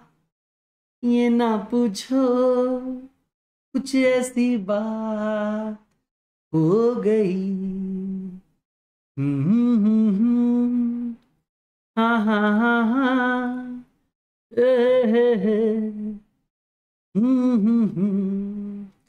अतर भाई कह रहे सर डिपेंड्स अरे, भाई, किस पे डिपेंड करेगा भाई? किधर डिपेंड करवा रहे हो? कोई डिपेंड नहीं है, इधर इंडिपेंडेंट है अपन। भाई, एक बात बताओ मेरी बात सुनो। यार, एक जनवरी को आप एक ट्रांजैक्शन कर चुके हो, जिस वक्त मेमोरेंडम में सिर्फ़ और सिर्फ़ कपड़े बनाना अलाउड था। आप लोगों ने केमिकल मैन्युफैक्चरिंग मशीन ले ली। 20 जनवरी को आपने अपना मेमोरेंडम अल्टर किया। मैं मानता हूँ, अगर आप 25 जनवरी को, अगर आप लोगों ने केमिकल मैन्युफैक्चरिंग के लिए कोई भी स्टेप लिया होता, आपने रॉ मटेरियल परचेस किया मशीन परचेस की लेबर्स लगाए, वो सब कुछ वैलिड होता because now it is within the altered memorandum but when this transaction has happened this was not within memorandum and therefore this transaction will still be void. But yes this further transactions will be valid why because the change in the memorandum is always a prospective change and not a retrospective change sir prospective change का मतलब ये होता है कि जिस दिन ये change आया है उस दिन के बाद से ये चेंज एप्लीकेबल होगा रेट्रोस्पेक्टिव चेंज का मतलब ये होता है कि चेंज भले ही आज आया है मगर पहले के ट्रांजैक्शन को भी सही करेगा याद रखना बेटा, ये जनरल कॉमन सेंस है कॉमन लॉ है, मैं आपको आज बता देता हूँ।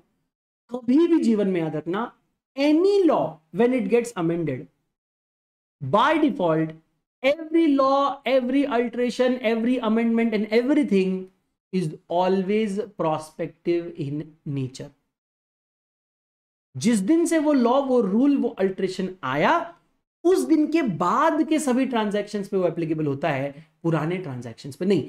Until and unless it is expressly provided in the law that the change is retrospective in nature.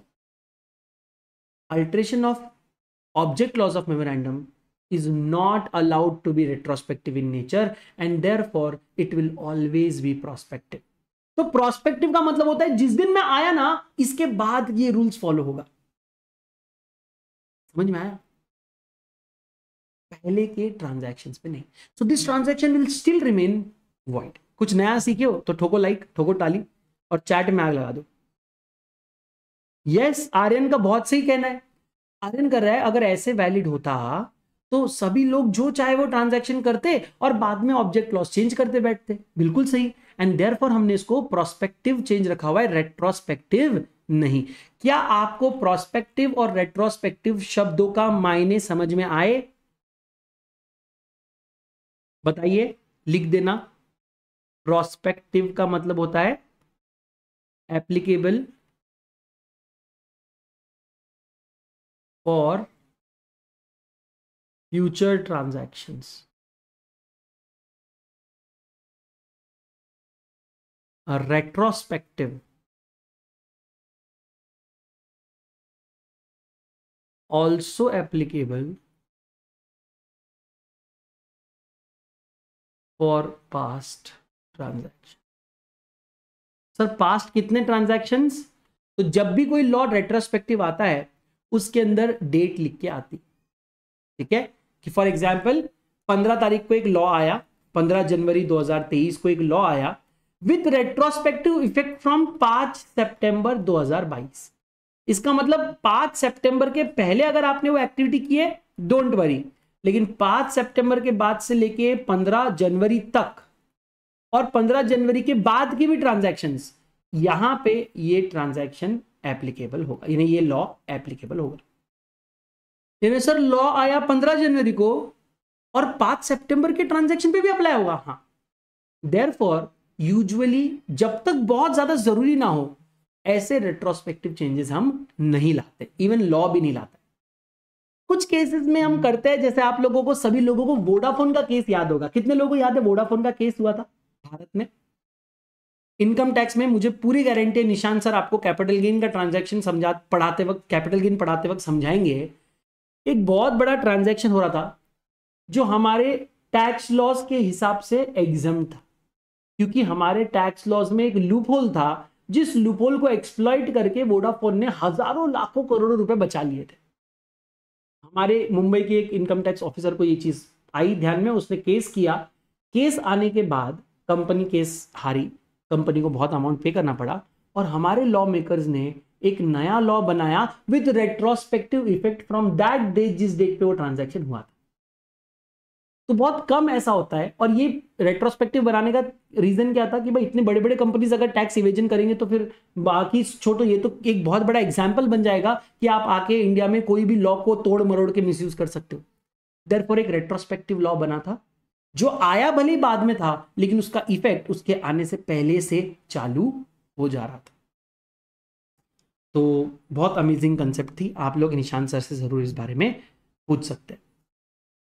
Company में do anything which is incidental to and consequential upon the object specified and such act will not be ultra vires incidental मतलब देखो भाई, अगर आप समोसा बनाना चाहते हो तो तेल तो परचेस करना पड़ेगा। झारा परचेस करना पड़ेगा गैस परचेस करना पड़ेगा। ये इंसिडेंटल है।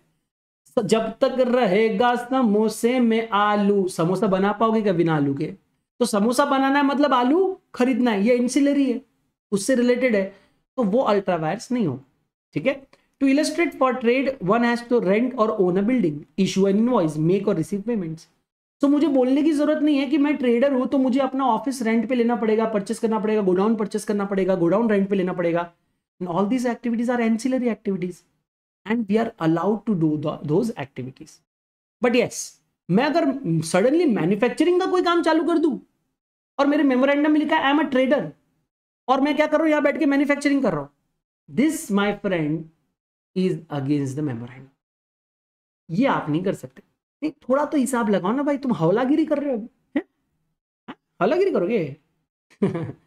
Essence of the doctor of ultra vires the doctrine of ultra vires is meant to protect shareholders and the creators of the company or anyone deals with the company Why is it protecting members? मैं member हूँ।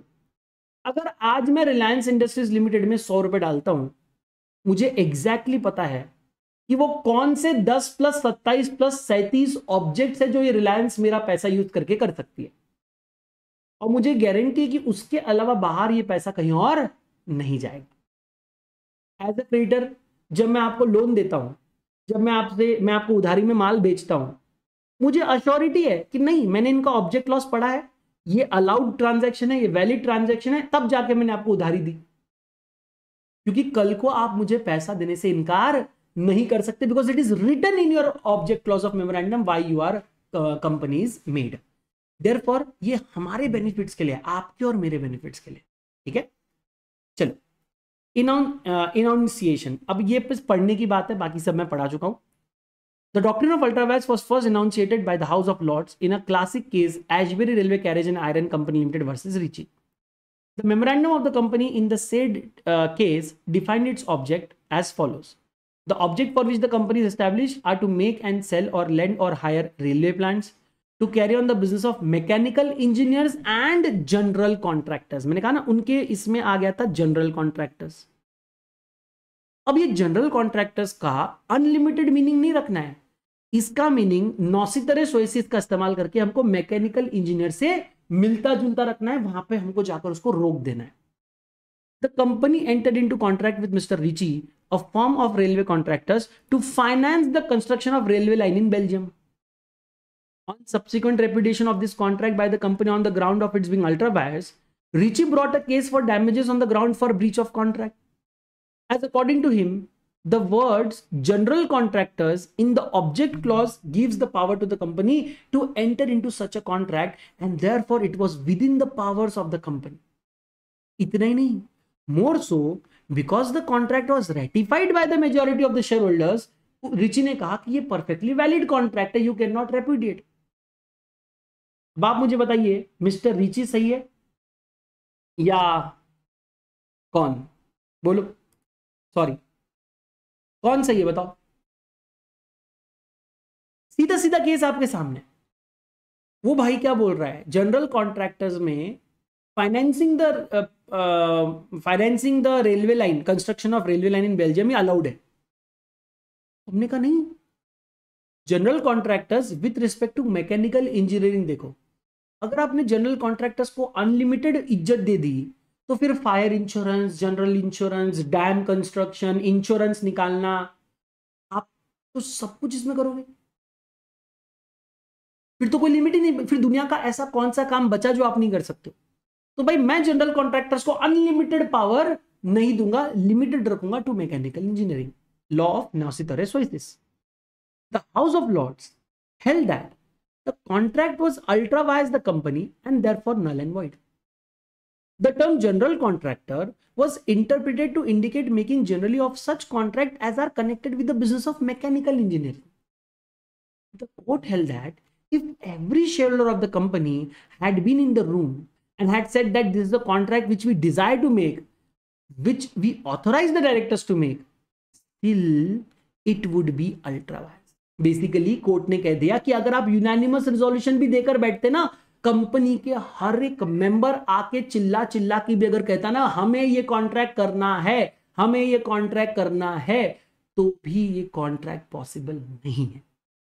Once ultra vires it will always be ultra आप लोग object loss को future में alter भी कर दोगे ना तो भी this transaction will remain void because the alteration will have prospective effect and not retrospective the shareholders cannot ratify such a contract as the contract was ultra vires the object clause uh, which uh, you know which by act of parliament they were prohibited from doing and therefore that transaction was null and void देखो समझ में आया कि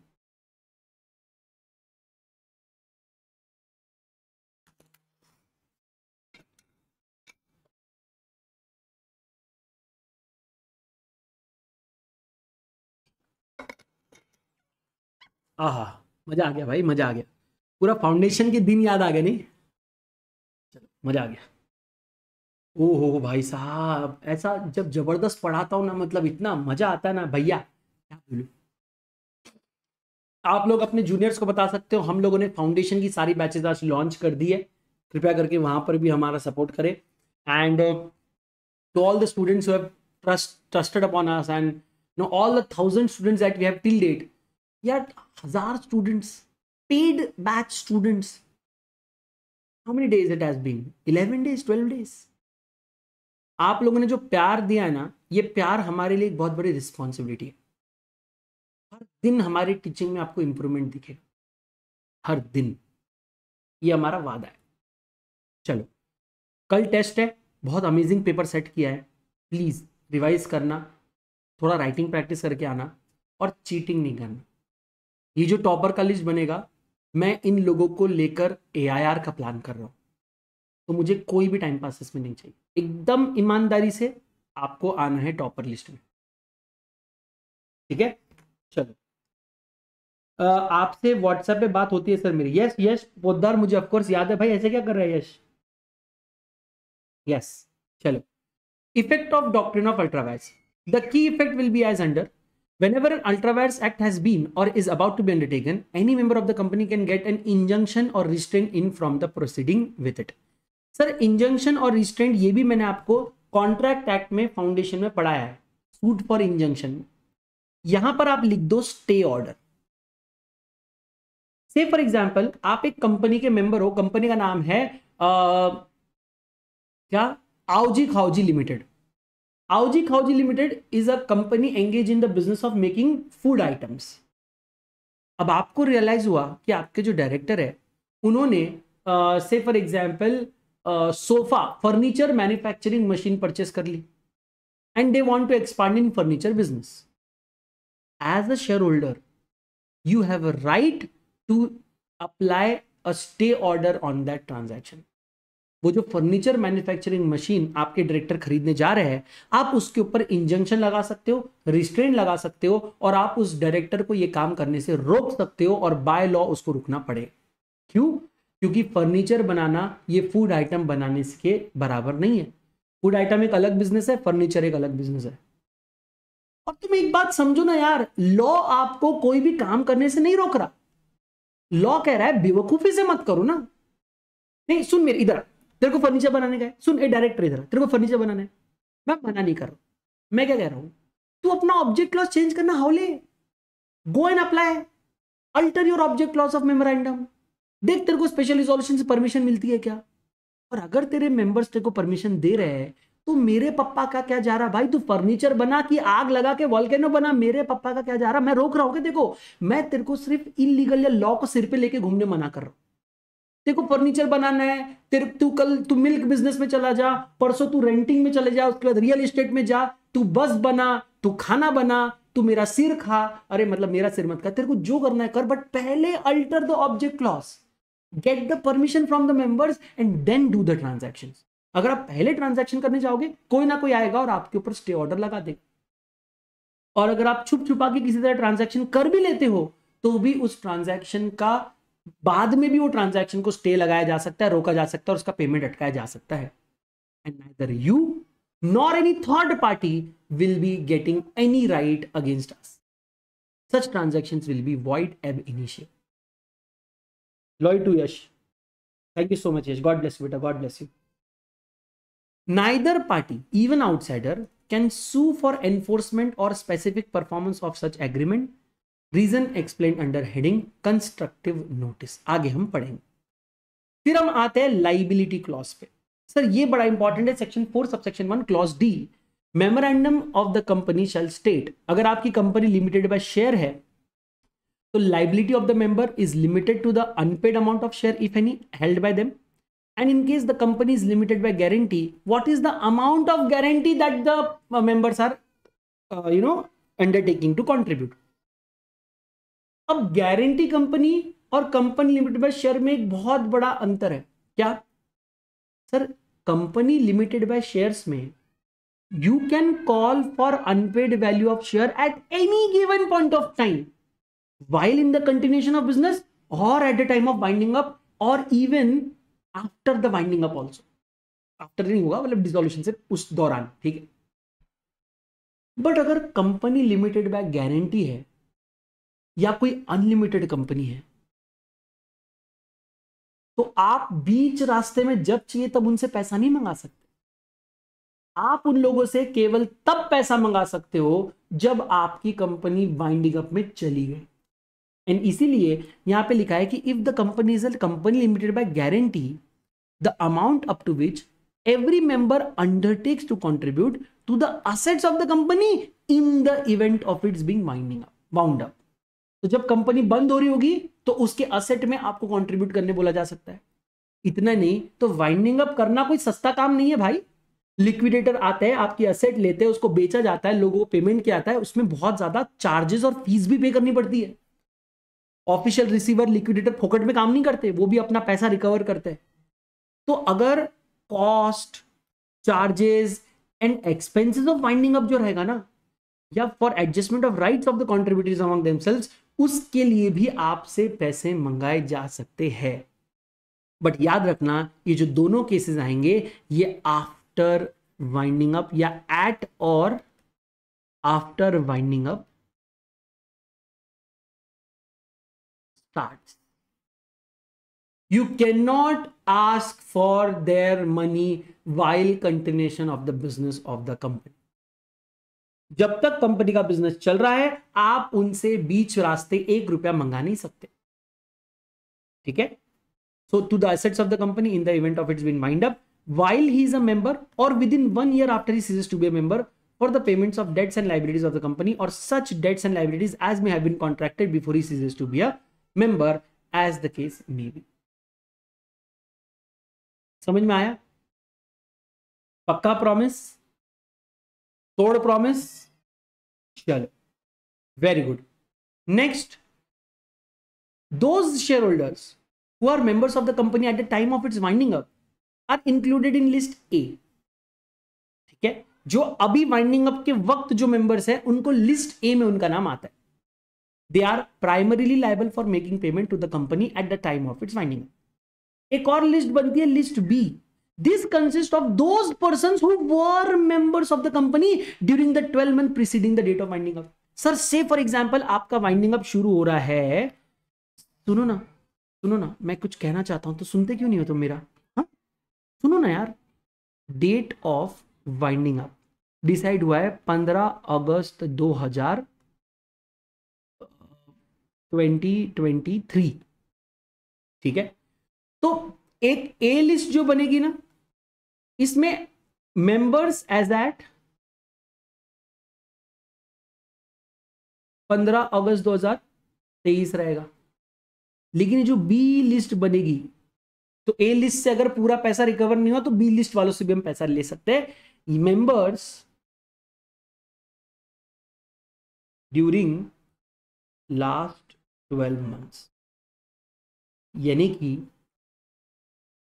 16 अगस्त 2022 से लेके 15 अगस्त 2023 जो लोग थे, उन लोगों को भी यहाँ पे लिस्ट बी में उनका नाम आए भैया ट्रांजैक्शंस जो हुए, वो आपके टेन्यूर के भी तो है है ना? यहाँ पे देखो B list consist of those person who were the members of the company during the 12 month preceding the date of winding up. B list contributories are liable to contribute if the amount realized from the contributors of A list is not sufficient to discharge the liabilities of the company. A list वालों से जितना ले सकते थे, आपने सब ले लिया। से फॉर एग्ज़ाम्पल इनसे आपने मैक्सिमम पैसा रिकवर कर लिया। हर एक पार्टनर ने बोला था, हर एक मेंबर ने बोला था, मैं एक एक लाख रुपए दूँगा at the time of winding up मेरा गारंटी है।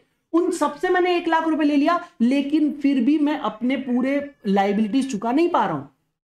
कोई बात नहीं। आ जाओ, चुका देंगे। लिस्ट नंबर बी निकालो।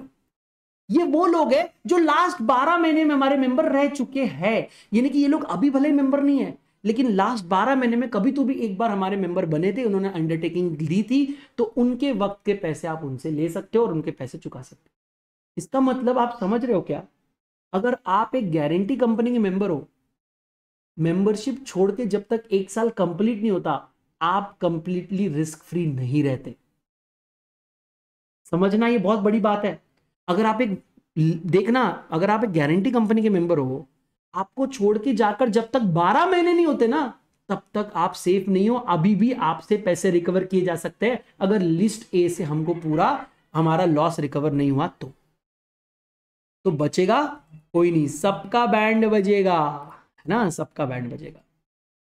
Example modern furniture limited a company limited by shares having share capital divided into shares with the face value of 10 each out of which 8 is called mr singh who is having 200 shares paid all the 8 rupees on each of the shares he hold while miss sarla owning 100 shares paid rupees uh, paid rupees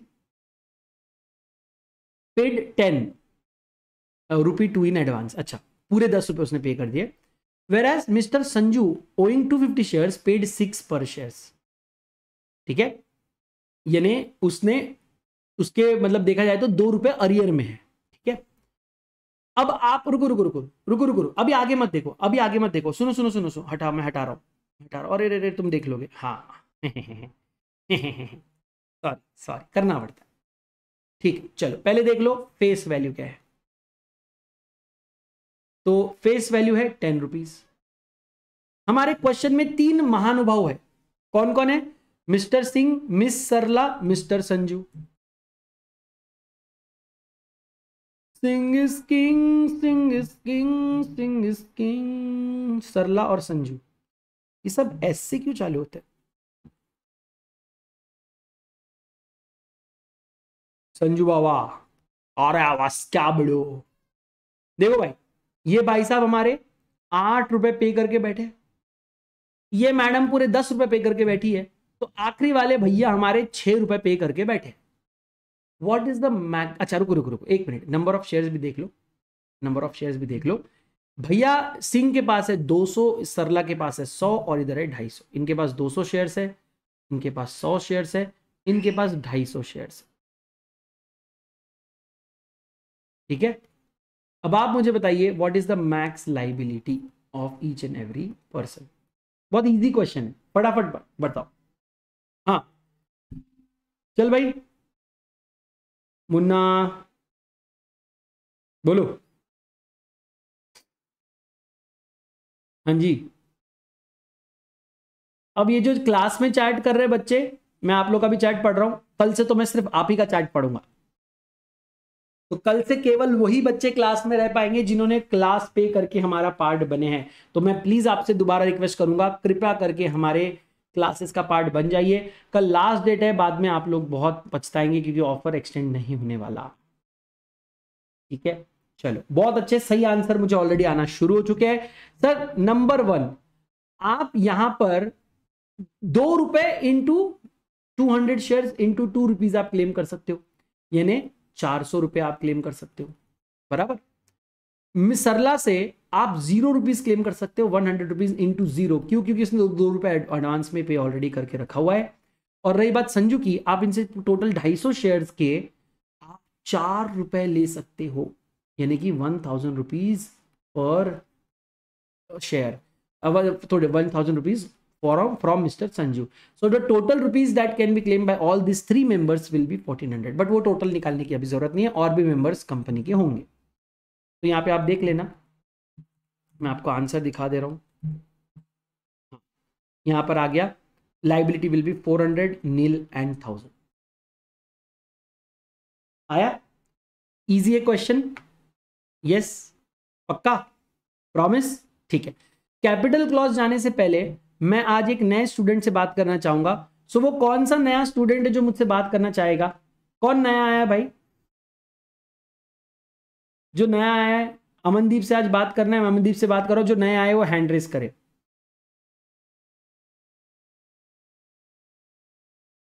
आप लोग चाहो तो तब तक natural nature's call वाला break ले सकते हो जो यूट्यूब पे है या हमारी चैट भी सुन सकते हो।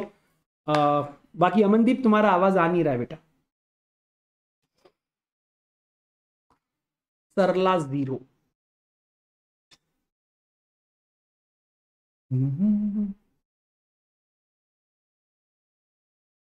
बदले में तेरे माही लागे जो कोई सारी दुनिया भी दे दे अगर तो किसे दुनिया चाहिए? तू है तो मुझे फिर और क्या चाहिए? तू है तो मुझे फिर और क्या चाहिए? किसी की ना मदद, ना दुआ चाहिए। तू है तो मुझे फिर और क्या चाहिए? तू ही रे, तू ही रे, तू ही रे, हीरी तू ही रे, तू ही रे, तू ही रे। हीरी ये तू है मेरी मैं हूँ तेरा रांझा। अमनदीप यार क्या हो रहा है ब्रो? मैं कितनी बार आपको कॉल किया आपका आवाज़ ही नहीं आता यार। सर। अजीत भाई good afternoon. Good afternoon sir. क्या हाल है भाई? I am fine sir how are you मैं एकदम अरे Ajit you are from south of India right yes sir I got to know that just just by listening to your MTI, bro. So where are you from, Ajit? I am from Chennai sir Oh, ho, ho, ho, we are so lucky to have you on board, man. How's weather there in Chennai? sir here it is hot now. So we we have a lot of rain going on here in Pune. so Ajit, are you understanding? Like because I'm using entirely Hindi and also you're able to comprehend and understand yes the sir yes sir I am able to understand and uh, moreover you use Okay, okay. That's so I, I'm so happy to because see I used to just assume that okay South students will you know maybe don't like the way I teach or maybe they'll not understand the way I because I use a lot of Hindi words as well. So yes sir yes obviously I like your teaching foundation from you oh, ho, ho, so you already know that how I teach. I think we uh, did you call me or did, like did we chat? I think I remember talking to uh, on the result day I spoke with sir okay. uh, you were in the uh, I was meeting in that class. YouTube. Oh yes, yes, correct, correct, correct. Bahubali result day या या या I understand but somehow I was feeling कि have I like मैंने बात किया है क्या ऐसा मुझे लग रहा था nice यार so so uh, you like you, you understand everything right all the subjects you are able to understand comprehend Yes, actually, other than accounts and law, I'm doing okay okay taxation. I'm doing from uh, three Okay. okay okay okay that's that's good but I'm so happy that you are here and I'm really honored, bro. Yes. yes. So you're all I'm ready, also... ready for the test for tomorrow? Yes, sir. Amazing, you're amazing. Proud of you, man. Thank you. God bless you, Vita. We'll connect again. Okay, it's a long class. Yeah. Thank you. Yeah. Thank you. thank you so much. God bless you. That's so sweet, yeah. I'm so happy that I'm able to cater to all the students in India. As a अतर भाई। क्या हाल है बेटा एकदम बढ़िया। आप उत्तर प्रदेश से है? सर सर मैं अमरावती के पास अकोला है वहाँ पे अरे मेरे भाई मेरे बिड़ू तू तो अपुन का भाई निकला रे पड़ोसी। क्या हाल है भाई अकोला में अपना? क्या हाल है? बहुत ज़्यादा गर्मी है। अरे भाई बोलना नहीं विदर्भ के लोगों ने को तो ये पूछना ही नहीं चाहिए क्या हाल है? यार अकोला इट्स सो नाइस यार। मैं अभी आऊँ आने वाला हूँ नागपुर का प्लान कर रहा हूँ। नागपुर से हो सकता है अमरावती आओ तो अकोला से आऊँगा। अगर कुछ होता है ना तो अमरावती नागपुर में एक मीटअप का प्लान रख रहा हूँ तो आप ज़रूर आना। बिल्कुल बिल्कुल। अरे अमरावती में बहुत सारे स्टूडेंट है यार अपने अमरावती में बिल्कुल आना है। अमेजिंग तो समझ में आ रहा है अथर्व क्लास पूरा? बहुत अच्छे से समझ आ रहा है। Thank you. Thank you and first of all thank you so much because मैं कल तक आपको यूट्यूब पे देख रहा था और आज मैं आपको दोनों जगह देख रहा हूँ। थैंक यू सो मच यार। थैंक यू सो मच यार। You guys are actually spoiling us with all this support यार। Thank you so much thank you so much और बताओ कल की टेस्ट का क्या हाल है? प्रिपेयर्ड है। यस राइटिंग प्रैक्टिस करना।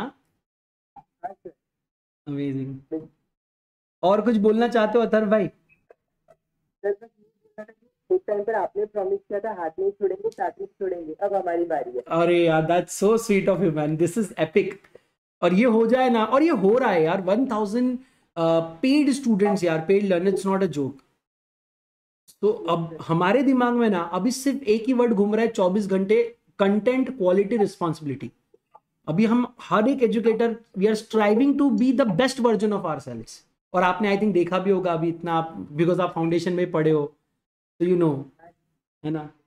इट्स अमेजिंग यार amazing proud of you Atar भाई थैंक यू सो मच ज़बरदस्त. अब अकोला जाऊँगा तो भाई और मज़ा आ जाएगा. आ, आ, एक थोड़ा सा पढ़ाई करके फिर से आ जाए? एक पाँच दस मिनट की एक और अच्छा एक और कॉल ले लेता हूँ. अमनदीप से बात ही नहीं हो पा रही एक बार कॉल ले लेता हूँ? अरे अमनदीप भाई!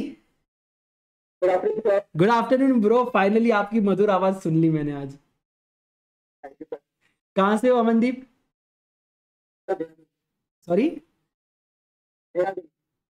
आवाज़ नहीं है कहाँ से? देहरादून। से हो। अरे भाई साहब तो वहाँ तो फुल मज़े होंगे अभी कैसा एनवायरमेंट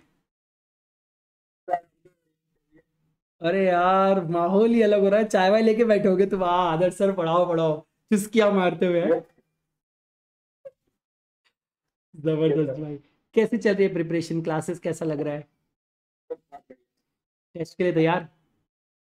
क्या लगता है? टॉप थ्री में आ जाओगे? अरे कॉन्फिडेंस रख भाई कॉन्फिडेंस रख। आना ही चाहिए बोलने का। अरे amazing amazing so i'm proud of you man. Thank you so much for that trust. Thank you so much. I am always available always accessible कभी भी आपको कोई भी बात करनी है ना, बिल्कुल आप मुझसे कर सकते हो। क्वेरीज के लिए भी हम लोग ने ग्रुप तो बना रखा है, उसके अंदर भी हम एक्टिव है। धीरे धीरे हमारा एक्टिविटी लेवल बढ़ेगा। अब हमारा यूट्यूब से पूरा ध्यान इंटरमीडिएट का हट के हम पूरा इस क्लास पे आने वाला है। तो be prepared be ready with all the content all the charts notes queries if you have हम लोग सारे के सारे, हम लोग आस्क में एनीथिंग का भी प्लान कर रहे हैं। तो आप मतलब समझ रहे हैं, हम लोग हर मुमकिन कोशिश कर रहे हैं कि स्टूडेंट्स को स्कोर लाए कैसे ले आए। और हो सकता है कुछ चीज़ें हमारे दिमाग में ना आए जो आपके दिमाग में आए। तो एज ए स्टूडेंट आपको भी कभी कुछ लगता है ना अमिनदीप भाई आप बिंदास बोलने के सर आप ये कर सकते हो आप वो कर सकते हैं will definitely try our best to do everything ना? थैंक यू सो मच भाई and really love you a lot thank you god bless you amazing and Sushmita और पूजा आप लोगों से हम बात करेंगे इन द सेकेंड हाफ़ आपको पता है ना 150 को we you know we take another calls 10 minutes थोड़ा चिट चैट क्वेरी और कॉल्स हम लोग रखेंगे, तब मैं आप लोगों से बात करूँगा। जो भी लोग नए आए हैं, जिनसे मैं अभी तक बात नहीं किया हूँ please kindly raise your hands okay चलो, अब चलते हैं आगे कैपिटल क्लॉज में। सर कैपिटल क्लॉज में, सर, एक बात बोलना है फाउंडेशन में 80 परसेंट आया था इंटर में 85 लाना। ओ भाई साहब, अतर दैट्स अमेजिंग यार। तो आना ही है फिर तो अब मैं आपको टॉपर लिस्ट में देख रहा हूँ ऑलरेडी और अब देखो, ऐसे जो स्टूडेंट्स हैं, जो इतना कॉन्फिडेंस लेके बैठे हैं आप एआईआर के लिए तैयार हो जाओ भाई। अगर आप पूरी जान लगा दोगे ना इस क्लास में, हम चारों एजुकेटर्स जो जिनसे भी आप पढ़ रहे हो, अगर आप उन एजुकेटर्स को हंड्रेड परसेंट फॉलो करोगे और एक बार जान लगा दोगे ना, आप मेरिट में आ सकते हो। हम लोग उस लेवल की क्लासेस ले रहे हैं। सच में बता रहा हूँ मैं। बस एक कि भाई करना है यार, फोड़ना है बस। ये जो एटीट्यूड है ना, वो चाहिए। ठीक है? चल। कैपिटल क्लॉज की बात करते हैं। Sir section four sub section one clause E sub clause one requires that in case of company having a share capital the memorandum of the company will state the amount of share capital with which the company is to be registered इसे हम authorise nominal registered या total share capital हम कहते हैं. And the division there of into share of a fix amount जिसे हम face value कहते हैं. आप लोगों ने बैलेंस शीट देखी होगी. मैंने आपको रिलायंस की बैलेंस शीट दिखाई थी, याद है? पंद्रह हज़ार करोड़ का। देखा था ना आपने? पंद्रह हज़ार करोड़। आपने देखा? उसके नीचे क्या लिखा था? क्या लिखा था? उसके नीचे लिखा था चौदह हज़ार crore shares of rupees ten each and one thousand crore shares of rupees ten each दिखा? वो जो टेन टेन था ना, वो उसका फेस वैल्यू था। तो आपने अपने टोटल शेयर कैपिटल को पहले तो ब्रेक कर दिया नंबर ऑफ़ शेयर्स और फेस वैल्यू पर शेयर में। उसके बाद आपने फर्दर डिवाइड किया उसको इक्विटी शेयर प्रेफरेंस शेयर्स में। ठीक है? The number of shares with with, which the subscribers to the memorandums agree to subscribe, which shall not be हम लोगों ने वहाँ पे एक लिस्ट देखी थी मेमोरेंडम में। याद है या दिखाओ दोबारा? याद है कि नहीं? अब मैं आपको पचास बार दिखा चुका हूँ। नहीं नहीं, अगर याद नहीं होगी तो मेरे को कोई शर्म नहीं दिखाने। मैंने आपको एक टेबल दिखाया था, जिसके अंदर सभी सब्सक्राइबर के नाम एड्रेस ऑक्यूपेशन थे। उन्होंने कितने शेयर सब्सक्राइब किए, ये लिखा हुआ था। और उसके बाद में उनकी सिग्नेचर थी। और ऐसा साइड में एक विटनेस का भी सिग्नेचर उसके अंदर किया था कि नहीं किया था? तो ये सब क्या है? अरे बोलना ये सब क्या है? ये ये वो है सब्सक्राइबर्स जिन्होंने मेमोरेंडम में शेयर सब्सक्राइब किया ठीक है? फिर आता है subscription clause again section four subsection one clause E sub clause two requires memorandum of the company shall state the number of shares that each of the subscriber intends to take ठीक है? Indicated opposite to his name in case of company having share capital minimum एक share आपको लेना पड़ता है maximum का कोई limit नहीं, जितना चाहे आप ले सकते हो। ये जो नॉमिनेशन है, आप यहाँ पे लिख देना ओनली फॉर अच्छा लिखा ही है ओनली फॉर ओपीसी ठीक है? ये सिर्फ़ और सिर्फ़ ओपीसी के लिए section four sub section one clause F requires memorandum of a company to state the name of a person who in the event of death of the subscriber will become the member of the company ये क्यों होता है? ये इसलिए होता है ताकि perpetual succession बना रहे और ओपीसी का मेंबर मर भी गया तो भी वो ओपीसी कंटिन्यू करे, है ना? समझ में आ रहा है? ठीक। है फिर बात करते हैं forms and schedule related to memorandum ठीक है? The memorandum of company shall be in the respective forms ठीक है? ए बी सी डी ई यहाँ पर दिया है। अब मैं आपको मेमोरेंडम और आर्टिकल्स के सारे शेड्यूल्स और फॉर्म्स बता देता हूँ। आप लोग एक बार ये अपने बुक में लिख लो। आ जाओ बेटा। मैं ये सारी चीज़ें जो क्वेश्चन चार्ट एप्लीकेशन ये आपकी किताब में लिखना है। अं, अनिक अपना क्या नाम है उसका? अंकित लिख रहा है if I am not wrong Ankit Ankit Kumar लिख रहा है कि अंकित श्रीवास्तव लिख रहा है। कौन? आर्यन आर्यन आर्यन नॉट अंकित। कौन लिख रहा है? रे वो मेरे को किसने भेजा था? हर एक चीज़ क्लास में जो हम पढ़ाते हैं वो कौन लिख रहा था? वो वैसा मैंने आपको बोला था ना वैसा लिखने का आपको हाँ, हर एक चीज़। चलो बात करते हैं टेबल्स के बारे में। Tables MOA public AOA particulars ठीक है? टेबल्स है A B C D E ये जो सारे हैं, ये सारे के सारे मेमोरेंडम के टेबल्स हैं। सारे के सारे मेमोरेंडम के। आप लोग पूरा कंप्लीट लिखेंगे, ठीक है? पहला है company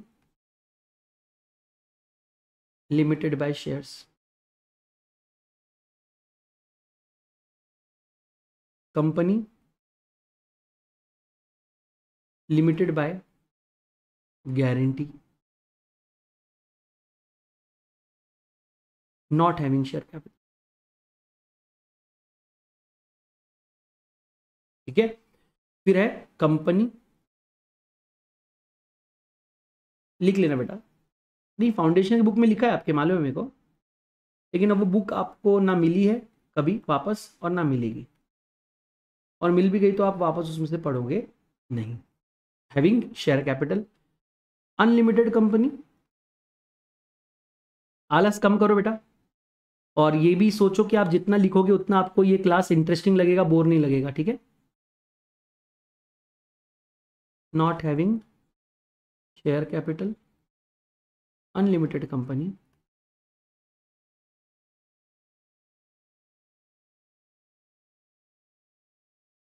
having share capital ठीक है? Shareholders and subscribers to memorandums are different. बेटा शेयर होल्डर्स मतलब all the people who have shares of the company but subscribers जो होते हैं, इन लोगों का नाम मेमोरेंडम में लिखा होता है। यूजुअली क्या होता है कंपनी बनाते वक्त कुछ दो, चार, पाँच, छह, सात, आठ, दस लोग डिपेंडिंग जो भी है, वो लोग अपना नाम सब्सक्राइबर करके लिखते हैं, अपने शेयर्स ले लेते हैं। बट शेयर्स तो और भी होते हैं कंपनी के, वो और भी मेंबर्स लेके रखते हैं। भले उनका नाम मेमोरेंडम में नहीं है but still they are the members of the company and उन्हें हम शेयर होल्डर्स कहते हैं। So subscribers are those shareholders whose name is mentioned in the this clause association clause of memorandum of association of the company. So, overall में there is no difference but just because they are subscribers उनके ऊपर थोड़ी responsibility ज़्यादा होती है because अगर company form करते वक्त आप कोई गलत इंफॉर्मेशन दे देते हो तो नॉर्मल मेंबर्स को नहीं सब्सक्राइबर्स द मेमोरेंडम्स को जिम्मेदार ठहराया जाता है, क्योंकि उन्होंने वहाँ पर साइन की होती, है ना? Very good Dilip Dewasi. बेटा, आप बहुत कम चैट करते हो, लेकिन आप क्लास में आते हो लाइव चैट में बड़ा अच्छा लगा। पूरी क्लास अटेंड करो रेगुलर आइए and I hope to see you in the paid class as well चलो, बहुत अच्छा सवाल आपने पूछा। अब चलते हैं आगे। ये हो गया। हाँ? अब हम चलते हैं आगे। F G H I J मैं कलर चेंज कर रहा हूँ। G H I T sir, ये होता है आर्टिकल्स के। ये जो सारे के सारे ये आर्टिकल्स ऑफ़ एसोसिएशन ये जो टेबल्स है ना ये आपको दे के इसलिए रखे ताकि आपको तकलीफ़ ना हो। आप कौन से टाइप की कंपनी बनाना चाहते हो, डिसाइड करो। उसका एमओ ए लिखा, लिया हुआ है, एक सैंपल रेडी है।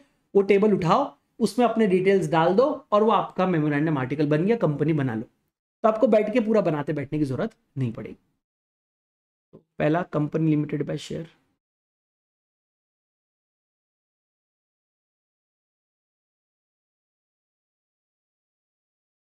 ठीक है? दूसरा, company limited by guarantee, having share capital, company limited by guarantee not having share capital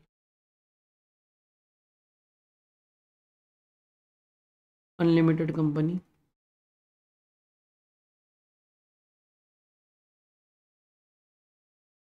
having share capital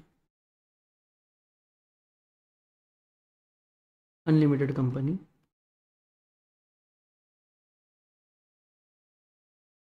not having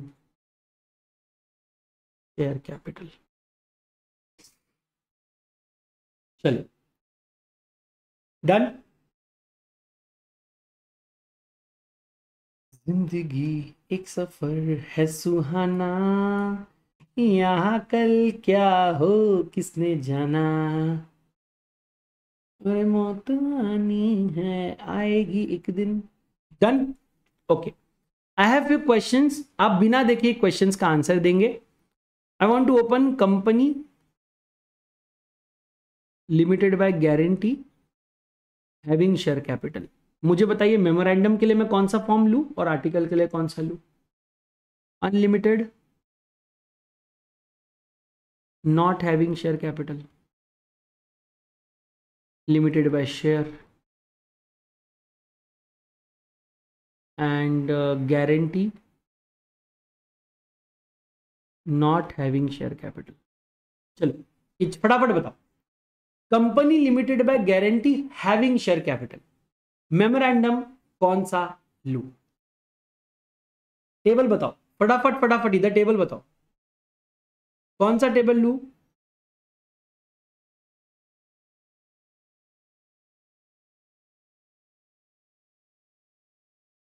हाँ? यार आंसर की इतना क्या तुम लोग धीरे धीरे करते हो यार? इधर बताओ, पेड क्लास में? हाँ पहले वाला आया, बराबर? सर, यहाँ पे आएगा टेबल सी। और आर्टिकल कौन सा आएगा? Company limited by guarantee having share capital बोलो। सी जी देखो पहले सही है क्या? ठीक। सेकंड का आंसर बताओ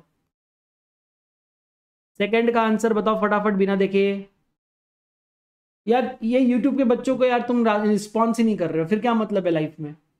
हाँ दूसरा बताओ। चलो मैं, अब मैं यहाँ पे चैट देख रहा हूँ। अपने क्लास में चैट देख रहा हूँ। DJ Bravo DJ Bravo oh champion champion आया ना? सर अनलिमिटेड है नॉट हैविंग शेयर कैपिटल आपको बस ऐसे देखना है, देखो। अनलिमिटेड नॉट हैविंग तो पहला डी और इधर जे तो डी जे ब्रावो है ना? नेक्स्ट फटाफट। यूट्यूब पे क्यों नहीं आंसर आ रहे? क्या प्रॉब्लम है? नहीं नहीं, देखो, एक तो ये थ्योरी क्लास है। ऊपर से अगर आप पार्टिसिपेट भी नहीं करोगे तो मज़ा क्या फिर आप यूट्यूब पे क्लास देख के मतलब क्या है? फिर आपने वही कर लिया। कि सर ये तो फ्री क्लास है तो हम क्या, क्यों हम लोग एफर्ट्स डालें? भाई learning requires efforts from both side I का I don't see effort from your hand very good Ridesh Parab proud of you बेटा. Rishi Shrivastava I am proud of you बहुत अच्छे. थैंक यू बेटा. मेरे को आपसे प्यार हो गया. क्यों?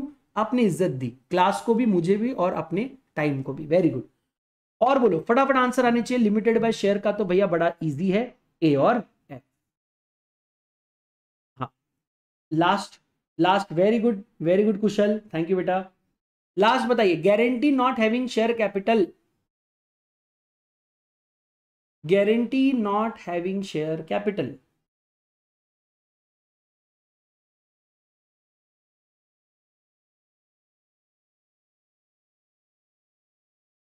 DH DH Rishi are you sure guarantee company बेटा अनलिमिटेड नहीं guarantee company not having share capital और डीएच तो कभी हो ही नहीं सकता ये कॉम्बो ही अवेलेबल नहीं है। हाँ जी? बी एच हाँ ये कॉम्बो अवेलेबल ठीक है? तो आपके पास जो कॉम्बोज है ना वो कॉम्बोज कैसे है? A F B G C H D I नहीं डी जे और ई e, आई ऐसे आपके कॉम्बो आपके पास है। मैं बताता हूँ वापस वापस सुनो। ए और एफ़ एक कॉम्बो है। ठीक है, हम सारे कॉम्बोज यहाँ पर देख लेते हैं। ए और एफ़ एक कॉम्बो है, ठीक है? इसके बाद दूसरा जो कॉम्बो है, वो है बी और, बोलो एच बी और एच का कॉम्बो है, जो हमने ये देखा, ये सेकेंड कॉम्बो है, ठीक है? ये फ़र्स्ट कॉम्बो ये सेकेंड कॉम्बो इसके बाद जो तीसरा है, वो है सी और जी सी जी वाला, ये थर्ड कॉम्बो है थर्ड कॉम्बो है। फिर जो फोर्थ कॉम्बो है, वो कौन सा है? हाँ वो है डी यानी कि अनलिमिटेड नॉट हैविंग और जे डी जे ये फोर्थ कॉम्बो है। ठीक है? अब एक ही केस बचा है, जो फिफ्थ कॉम्बो है, वो भी हम करा लेते हैं। ठीक है? अनलिमिटेड कंपनी का कॉम्बो बच गया था ना एक हैविंग शेयर कैपिटल वो भी देख लो। तो हमारे पाँचों कॉम्बोज हमारे सामने आ जाते हैं। इसके अलावा कुछ नहीं होगा। तो इनके अलावा ना ज़बरदस्ती कहीं पे और कुछ घुसाने का नहीं। बोलो इसका। हाँ। लास्ट ई और ई और आई, बराबर? ई और आई। ये आपके सारे के सारे कॉम्बोज पॉसिबल है। इसके अलावा, अब आप सीजे नहीं कर सकते। C G D J A F B H E I यही कॉम्बोज आपके अवेलेबल ठीक है? तो company limited by share company limited by guarantee having share capital company limited by guarantee not having share capital unlimited company having share capital unlimited company not having share ये सारे combos आपके available है। कोई बात नहीं ऋषि, कोई बात नहीं, कोई बात नहीं। समझ में आ गया? क्लास में सबको समझ में आ गया? यही कॉम्बोज है जो अवेलेबल है। इसके अलावा को कोई और कॉम्बो नहीं होंगे। तो फॉर्म्स एंड शेड्यूल्स आपके सामने आ चुका है।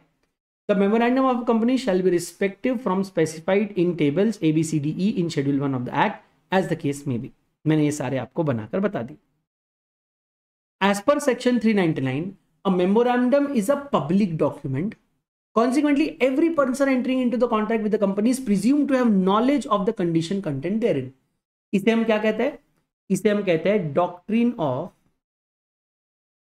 कंस्ट्रक्टिव नोटिस जो भी व्यक्ति हमारे कंपनी के साथ काम करने आ रहा है, वो हमारे मेमोरेंडम आर्टिकल स्पेशल रिजोल्यूशन और सभी डॉक्यूमेंट जो रजिस्ट्रार के पास हम लोग सबमिट करते हैं, जो अवेलेबल है पब्लिक डॉक्यूमेंट है, वो सभी इंफॉर्मेशन को देखकर, पढ़ के और समझ के हमारे साथ बिज़नेस करने आ रहा है, ये हम अज्यूम कर लेते हैं। और इस अजम्पन को बोला जाता है डॉक्ट्रीन ऑफ़ कंस्ट्रक्टिव नोटिस तो सपोज़ करो हम आइसक्रीम मैन्युफैक्चरर है। अगर मैं शूज़ मैन्युफैक्चरिंग मशीन परचेस करने आ भी गया आपके पास तो आप मुझे शूज़ मैन्युफैक्चरिंग मशीन मत बेचो। अगर आप बेचोगे तो अपने रिस्क पे बेचोगे। क्यों? क्योंकि मैं जब आपसे बिज़नेस कर रहा हूँ, मैं अज्यूम कर रहा हूँ, आपको मेरे मेमोरेंडम और आर्टिकल्स के बारे में पता है। भले ही आपने एक्चुअली पढ़ा हो, नहीं पढ़ा हो, समझा हो, नहीं समझा हो, उससे हमें कोई लेना देना नहीं है। मैं अज्यूम कर लेता हूँ कि आप उसको पढ़ के आए हो, समझ के आए हो। तो अब मैं क्या करूँगा? मैं आपको बोल दूँगा, जाओ, मैं आपको पैसा नहीं देता। और आप मेरे अगेंस्ट कुछ नहीं कर सकोगे। क्यों? मैं बोल दूँगा ना, भैया, आपको नहीं समझ में आ रहा था क्या? आपने अपने, मेरा मेमोरेंडम नहीं पढ़ा क्या? तो ये आपकी गलती है। मेरी गलती नहीं, आपकी गलती है। As per section four sub section seven any provision in the memorandum और articles in the case of a company limited by guarantee and not having share capital shall not give any person a right to participate in the divisible profit of the company otherwise than as being member if the contract is done it shall be void ये बहुत important point है, जरा ध्यान से देखना। एक तो आपकी जो कंपनी है, वो कंपनी कौन सी है? Guarantee company not having share capital अब आपका जो प्रॉफिट है, वो जिन लोगों ने गारंटी दी है, जो मेंबर्स है, उन मेंबर्स के अंदर डिस्ट्रीब्यूट होता है। अगर आप हमारे कंपनी के मेंबर नहीं हो, और आपने हमें कोई प्रकार की गारंटी नहीं दे रखी है तो आपको कोई अधिकार नहीं है हमारे डिविजिबल प्रॉफिट में अपना डिविडेंड क्लेम करने ये प्रॉफिट केवल उन मेंबर्स का है जिस मेंबर ने एक्चुअली हमें बैठ के गारंटी दी है। And therefore if you are not a member of such company you will not be entitle to divisible profit और अगर मैं आपको डिविजिबल प्रॉफिट देने की बात भी करता हूँ तो such transaction are null and void I can't share my digital profit with any one because यार, ये तो हालत हद हो गई ना। कुछ मेंबर्स गारंटी दे रहे हैं। बाकी बाहर के लोग, जो कंपनी के मेंबर्स भी नहीं है जिन्होंने, जिनका कोई लेन देन नहीं है। Why should I share divisible profit with people if they want profit why don't they become members why don't they agree to contribute to the of the company in the of winding up and pay for cost and expenses of winding up so भाई देखो, व्यवहार दोनों हाथ से चलता है। इस हाथ ले, इस दे, ये प्यार का है दस्तूर और ये बिज़नेस का है दस्तूर। अगर आप सिर्फ़ लेने के लिए बैठे और देने के वक्त में आप अगर नहीं देने वाले तो आपको यहाँ पर मैं भी कुछ देने के लिए तैयार नहीं हूँ। ठीक है? So if you are a company limited by guarantee and not having share capital आपके शेयर्स नहीं है।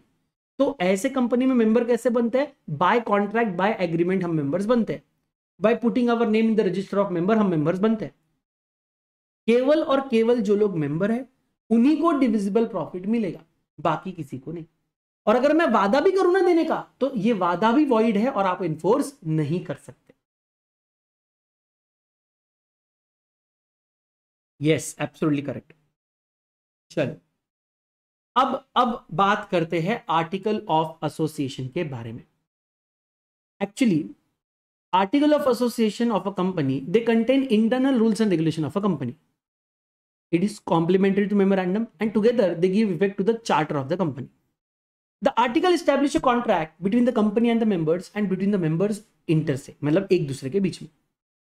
This contract governs the ordinary rights and obligation incidental to the membership of the company Section 5 of the Companies Act and Rule 10 and 11 of the Companies Incorporation Rules seeks to provide the content and model of the Article of Association.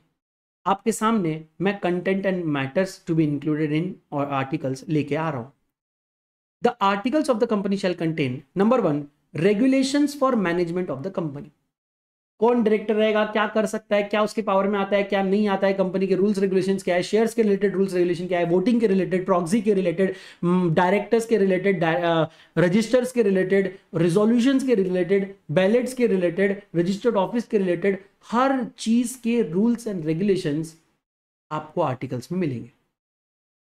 बेटा memorandum एक company को पैदा करने वाली माँ है। Articles उसे पाल पोस कर बड़ा करने वाली माँ।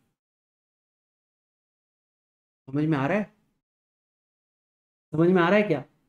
मेमोरेंडम तो कंपनी को केवल पैदा करते हैं। उस मेमोर, उस कंपनी को पाल पोस कर बड़ा करना day to day affairs manage करना, उसके रूल्स और रेगुलेशन डिसाइड करना, ये आर्टिकल्स ऑफ़ एसोसिएशन का काम है। मेमोरेंडम एक, आपको एक ओवरव्यू देता है। एक ढांचा बनाता है। उस ढांचे के अंदर जो सारे मैटर्स आएँगे, ये आर्टिकल्स आपको बताते हैं। ये जो मैटर्स रहेंगे it will be prescribe by the rules and उसको आपको फॉलो करना है। अब कंपनी में also include some additional matters in the articles as may be considered necessary तो यार देखो, जितना हम बोल रहे हैं, वो तो आपको आर्टिकल में इंक्लूड करना ही है। अगर आप चाहो तो उसके अलावा भी आप रूल्स बनाकर डाल सकते हो, हमें कोई दिक्कत नहीं है। लेकिन जो हम कह रहे हैं, वो तो उसमें रहना ही चाहिए।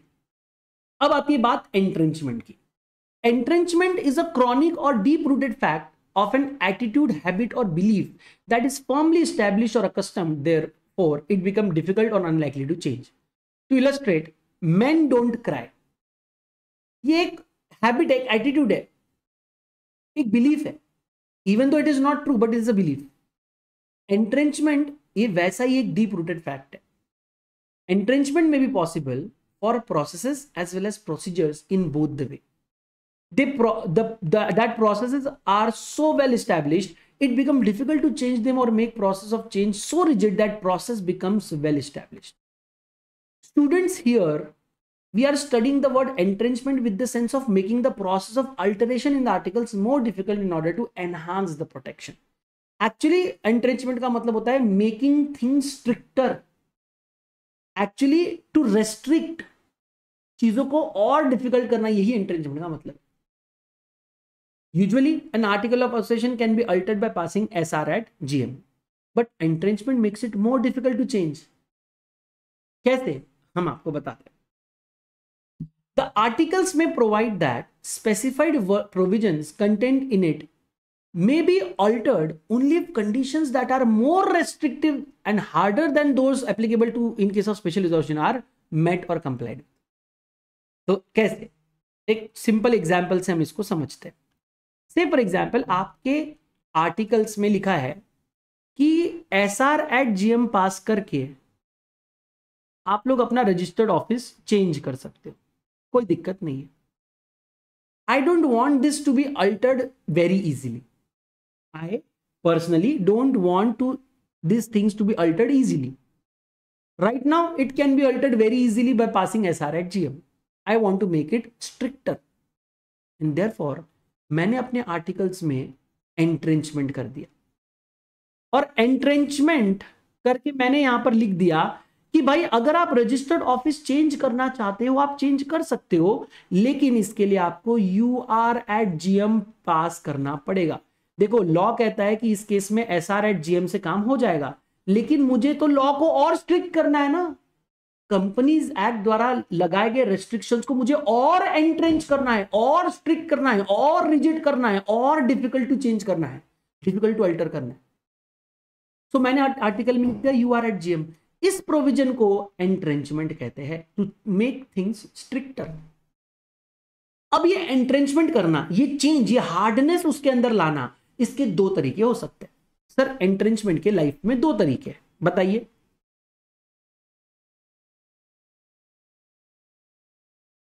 सर, एक तो आप एंट्रेंचमेंट कर सकते हो ड्यूरिंग इनकॉर्पोरेशन ऑफ़ कंपनी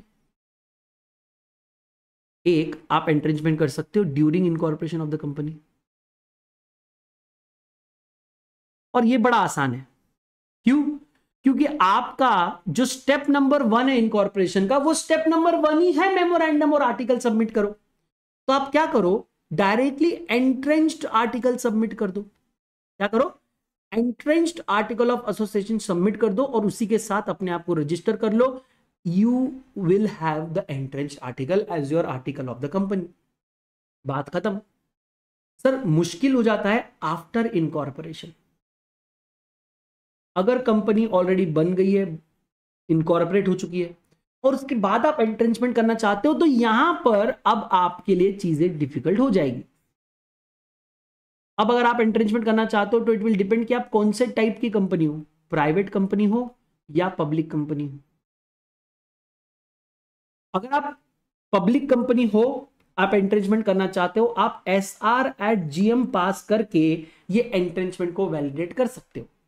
लेकिन अगर आप एक पब्लिक प्राइवेट कंपनी हो तो आपको U R at GM pass करना पड़ेगा। यानी कि unanimous resolution at general meeting pass करना पड़ेगा और उसके बाद ही जो एंट्रेंचमेंट है वो हो पाएगा चेंज वहाँ पर हो पाएगा, फिर वो चेंज आप आर के पास रजिस्टर करोगे और एंट्रेंस्ड आर्टिकल आपके फाइनल आर्टिकल बन जाए समझ में आ रहा है? चार्ट बनाइए, मैं आपको जल्दी से टेक्स्ट पढ़ा देता हूँ। वक्त कम है, फटाफट। Manner of inclusion of entrenchment the provision for entrenchment shall be made either on the formation of a company और by an amendment the articles agree to by all the members in case of private company and by special resolution in case of public company.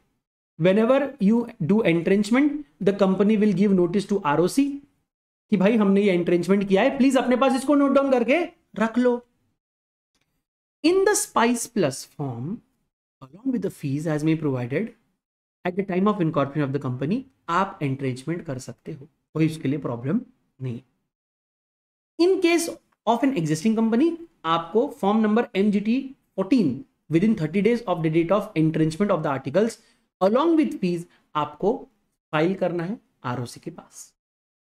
ठीक है? यहाँ पे आपका entrenchment हो गया।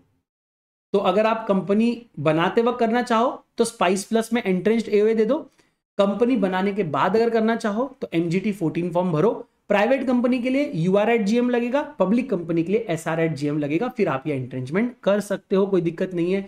Entrenchment होते ही थर्टी डेज़ के अंदर एमजीटी फोर्टीन फॉर्म भर के आरओसी को इन्फॉर्म कर दो। ठीक एंट्रेंचमेंट का फॉर्म दिखाता हूँ बेटा।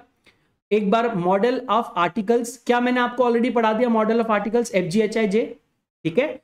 आप जो भी कंपनी बनाना चाहते हो, आप अप्रोप्रिएट आर्टिकल्स देख सकते हो। मैंने सारे आर्टिकल्स आपको दे दिए। ठीक है? चलिए। मैं आपको वो चार्ट दिखाता हूँ, उसके बाद ये छोटा सा para and then we will be done with the class ठीक है? आर्टिकल्स के मॉडल बता दिए मैंने आपको? ठीक है। तो अब फटाफट, देखो हमारे पास आठ मिनट है। दो चार मिनट में ये केस कंप्लीट हो जाएगा। डॉक्ट्रिन ऑफ़ कंस्ट्रक्ट नोटिस हम लोग कल स्टार्ट कर देंगे। और you know we are at the very मतलब एंड भी नहीं बोल सकता वैसे। ठीक है, अभी हमारा बाकी है कुछ कुछ चीज़ें। बट हम लोगों ने अच्छा खासा कंटेंट कवर कर लिया है। अनफॉर्चुनेटली मैं पूरा का पूरा चैप्टर यूट्यूब पे नहीं दे पाया हूँ, क्योंकि ये आज का लास्ट लेक्चर है, कल लेक्चर नहीं होने वाला। तो आई एम सो सॉरी जो लोग फ्री क्लासेस देख रहे हो आई एब्सोल्युटली सॉरी मेरा ये इंटेंशन नहीं था। मैं भी कोशिश करूँगा कि एटलीस्ट ये चैप्टर अगर पूरा मैं दे सकूँ यूट्यूब पे तो मैं कोशिश करूँगा। लेकिन अगर मैं ये चैप्टर नहीं भी दे पा रहा हूँ, क्योंकि अभी आधा ही हुआ है, और दो तीन लेक्चर्स के लग जाएँगे तो दो तीन लेक्चर और देना मुझे मुश्किल लग रहा है। तो मैं आपसे रिक्वेस्ट करता हूँ यार प्लीज़ हमारी पेड बैचेस को आप ज्वाइन कर लो प्लीज़ चलो students are advise to take note sub section eight provides that in case of any company which is registered after the commencement of this act, in so far as the registered article of such company do not exclude or modify the regulation contained in the model articles applicable to such company, those regulations shall, so far as may be applicable to the regulation of that company in the same manner and to the same extent as if they were con- uh, contained in the duly registered article of the company, either exclude or modify expressly or else it applies what stated in the model applicable to the company. ये पूरा का पूरा paragraph बहुत difficult है, लेकिन इतना छपरी मैं आपको क्या बताऊँ? ये क्या कहता है? से फॉर एग्ज़ाम्पल आप कंपनी लिमिटेड में शेयर बनाना चाहते हो। तो आप मेमोरेंडम का टेबल ए उठाओगे और आर्टिकल का टेबल एफ़ उठाओगे। बराबर? ए एफ़ करोगे आप। लॉ कहता है कि unless and until you specifically exclude और मॉडिफाई और एंट्रेंच और change anything in the table we will assume that whatever is there in the table is your actual article and that will be applicable on the company जब तक आप उन table में कुछ alteration modification entrenchment या change नहीं लाते, तब तक जो मॉडल है, वही आपका ओरिजिनल आर्टिकल है और वही आप पे एप्लीकेबल होगा, ये हम अज्यूम कर रहे हैं। तो ऑफकोर्स उसी के लिए तो हमने आर्टिकल बनाया भाई। उसी के लिए तो टेबल बनाया कि झंझट झिकझिक नहीं है डायरेक्टली टेबल उठाया और उसको एप्लीकेबल कर लेकिन हाँ एक अच्छी बात आप इसे समझ सकते हो अगर आपको उन टेबल में थोड़े बहुत चेंजेस करने हैं ट्विक्स करने आप कर सकते हो और वो table with those exception and modification आप पे एप्लीकेबल हो जाए Now, subsection 9 restricts the scope of the section to the articles either registered or amended under this act. Hence, no provision of this section and subsection 5 shall be applicable to the article registered under previous company law, provided not amended under this act. तो ये जो मैंने बताया, ये सिर्फ़ और सिर्फ़ this law है, यानी कि कंपनीज़ एक्ट 2013 की बात कर रहा है। अगर आपके आर्टिकल 1956 या पुराने लॉ में बने हैं देन आप ये वाला लॉजिक उस पर लगा नहीं सकते, क्योंकि पुराने टेबल्स अलग थे। तो आपको ये करना पड़ेगा, आपको क्या करना पड़ेगा? नए एप्लीकेबल टेबल्स आप पे एप्लीकेबल करवाने पड़ेंगे। तो आपको अमेंडमेंट लानी पड़ेगी। Highlight the difference between MO and AO तो memorandum contains the fundamental condition on the age basis of incorporation it laid down a parameter that define the relation of the company with article में internal regulations होते हैं और article company और उसके members के बीच में और मेंबर्स के आपस में बीच में रिलेशन स्टैब्लिश करता है। सर क्या बड़ा है? मेमोरेंडम या article of course memorandum memorandum can not include any clause that is contrary to the provision of the law हालाँकि आर्टिकल जो है, वो सबॉर्डिनेट है। ये लॉ के भी नीचे है और मेमोरेंडम के भी नीचे है। देयरफॉर अगर कभी भी कॉन्फ्लिक्ट होता है दोनों में तो मेमोरेंडम जीत जाएगा बिकॉज़ मेमोरेंडम इज़ बॉस तो सबसे ऊपर आता है लॉ सबसे ऊपर आता है देश का संविधान कॉन्स्टिट्यूशन कॉन्स्टिट्यूशन के नीचे लॉज लॉज के नीचे मेमोरेंडम मेमोरेंडम के नीचे articles scope Memorandum lays down the scope beyond which the activities of the company can not go आप ऑब्जेक्ट लॉज ऑफ मेमोरेंडम के आगे नहीं जा सकते an act done by the company beyond the scope of the memorandum is ultra vires and void they cannot be ratified even with the unanimous resolution of the shareholders. Articles provide for regulations inside the scope established by MOA and hence acts beyond the articles can still be ratified by the shareholders provided provided the acts do not go beyond memorandum. तो ये मैंने जो chart बनाया था ना, उसमें दो line मारी थी कि भाई आर्टिकल के नीचे अलाउड मेमोरेंडम के नीचे, लेकिन आर्टिकल के ऊपर रेटिफाई कर सकते हो.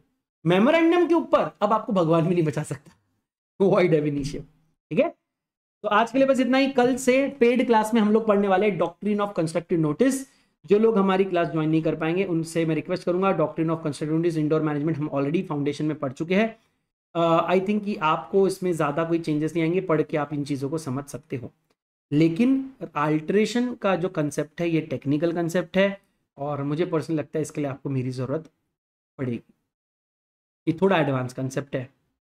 तो आई एम सो सॉरी यार, बाकी की चीज़ें मैं यहाँ पर कवर नहीं कर पाऊँ। एक्चुअली नहीं यार नहीं नहीं I take my words back मैं पूरा का पूरा यहाँ पर नहीं करवा पाऊँगा चैप्टर टू बिकॉज़ उसके लिए मुझे ना तीन चार लेक्चर्स और लगेंगे। तो यार, तीन चार लेक्चर्स नहीं आने वाले अगर आप आगे का पढ़ना चाहते हो तो please please please go to Ekagrata dot co dot in recently मेरी क्लास के जो भी रेट्स है बिकॉज़ अब ऑफ़ एक लिमिटेड पीरियड तक ही रहेगा। ऑफकोर्स उसके बाद नहीं रहेगा या चेंज होगा आई डोंट नो तो आप वहाँ पर जाके क्लास को परचेस कर सकते हैं। Thank you so much it was wonderful journey on YouTube with you all and thank you so much for all with to all the thousand students have trusted us with your studies and with your future I assure you मैं हर मुमकिन कोशिश करूँगा आपको best से best देने के लिए। जो क्लास में बच्चे हैं, भाई, आप तो हम लोग तो साथ में है ही पूरा एंड तक।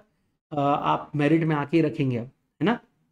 तो मैंने क्वेश्चन पेपर कल डालने वाला हूँ इस पे। एकाग्रता के टेलीग्राम चैनल पे और आंसर पेपर परसों डालने वाला हूँ और फिर परसों का जो क्लास होगा या उसके बाद नेक्स्ट डे का जो क्लास होगा, वहाँ पर हम लोग आंसर्स डिस्कशन करेंगे। यानी समझ लो वेनेसडे को और वहाँ पर मैं टॉपर का लिस्ट बनाऊँगा। और वो टॉपर का लिस्ट सभी स्टूडेंट्स के साथ शेयर किया जाएगा। वो टॉपर का लिस्ट अगली टेस्ट तक सेम रहेगा। मैं टॉपर्स को वही उन लोगों को टॉपर्स मानूँगा जो अगली टेस्ट तक जब तक टॉपर लिस्ट चेंज नहीं होती। है ना? ठीक है। चलो। तो that is it for today मैं बात करना चाहूँगा कोई नया स्टूडेंट यहाँ पर आया जिससे मैंने पहले बात नहीं की तो प्लीज़ रेज हैंड करके बात कर लो। यूट्यूब पे लाइक कमेंट ठोक देना भाई जो लोग बाद में भी देख रहे हैं प्लीज़ लाइक कमेंट ठोक देना।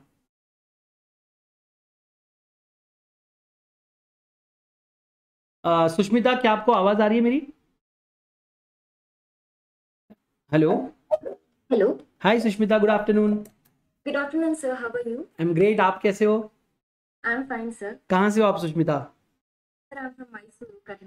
अरे आज तो मतलब आग लगा दे रहे यार हम लोग so you are able to comprehend understand whatever I teach right no issues class which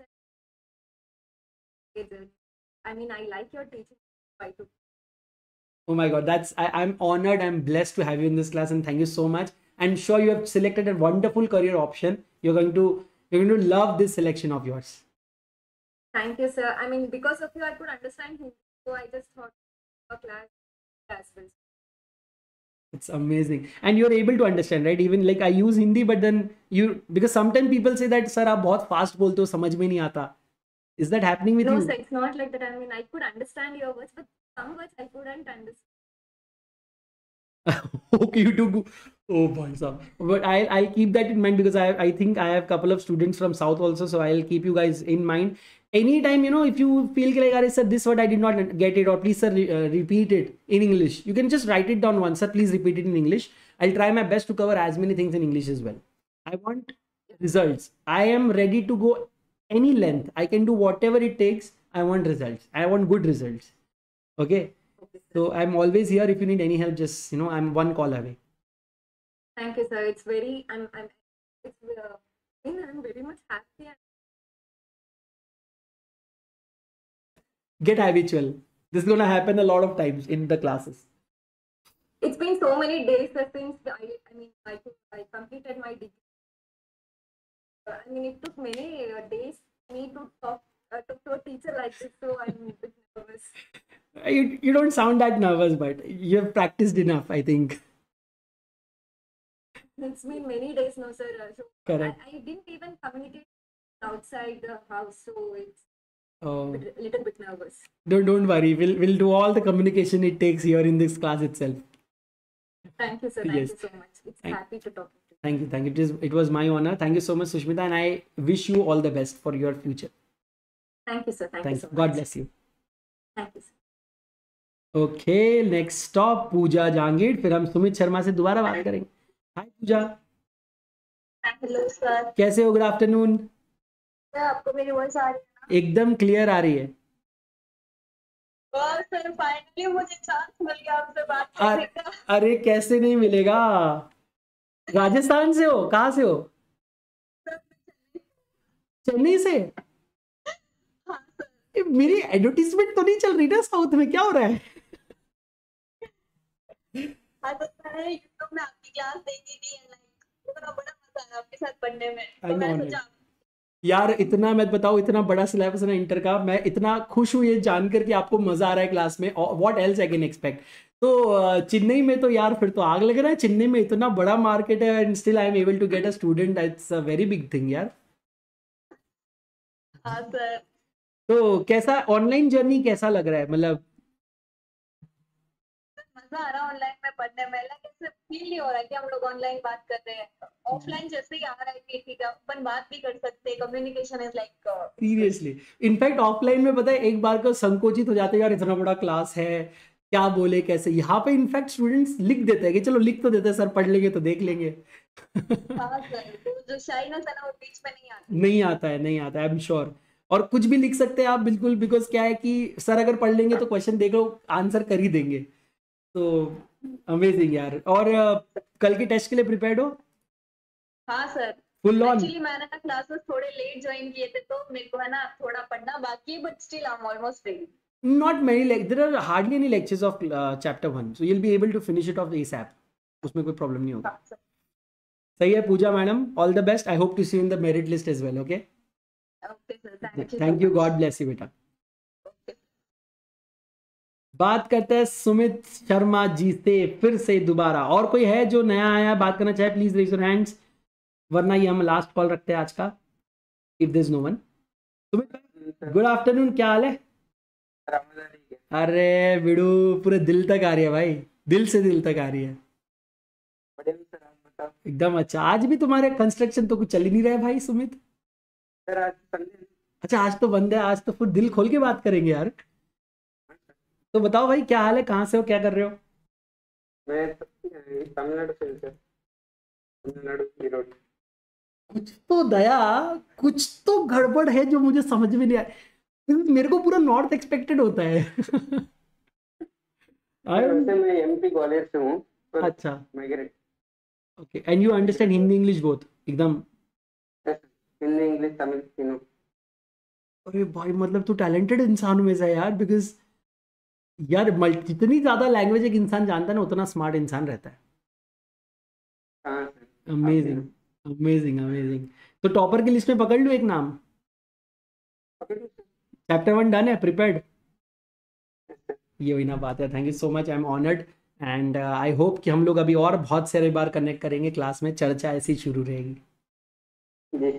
thank you so much बेटा। All the best thank you God bless you bye bye Saloni ma'am hello आपसे भी बात करना है। Hello Saloni.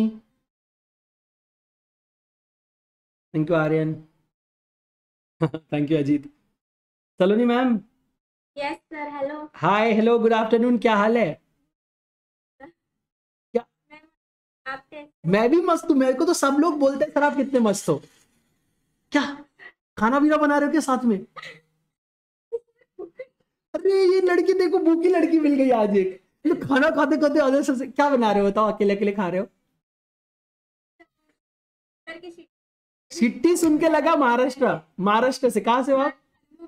Mumbai. अरे लगा सिट्टी बोला तो समझ गया बोला ये तो मुंबई है भाई। क्या बन रहा है आलू पराठा?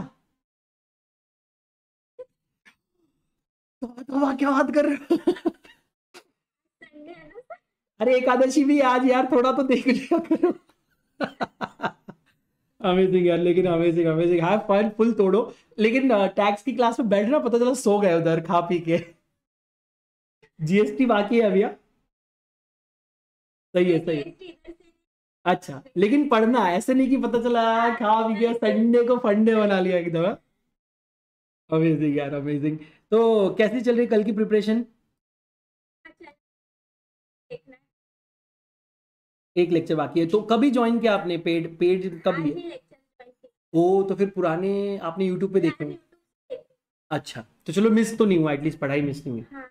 अमेजिंग अमेजिंग चलो सही है। तो कल के लिए प्रिपेयर हो जाना। सलोनी कल मैं yes, दे रहा हूँ है ना? चलेगा। Okay have fun and happy meals thank you thank you बेटा। God bless you yes bye bye thank you चलो। ये सिटी की आवाज़ सुन के मुझे भी भूख लग गई अब चल, चलते हैं। आज के लिए बस इतना ही। थैंक यू एंड सॉरी मैं सात मिनट ऊपर ले लिया। बट वो चैट वैट थोड़ा बात बात कर रहा था लास्ट लेक्चर है दिल से थोड़ा जुड़ा हुआ था। यार यूट्यूब पे मैं बस एक चीज़ कहना चाहूँगा मैं आप हर एक व्यक्ति को जो यूट्यूब पे आज मुझे देख रहे हैं मैं आप लोगों से भी बात करना चाहता हूँ। और ये कैसे पॉसिबल होगा? जब आप मेन क्लासेस में आएँगे।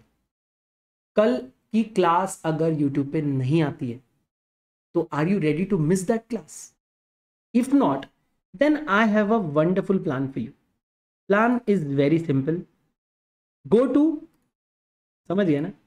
हाँ. एकाग्रता डॉट को डॉट इन यहाँ पर आकर कोर्सेज पे जाइए। अब ये देखो रेट्स चेंज होते रहेंगे।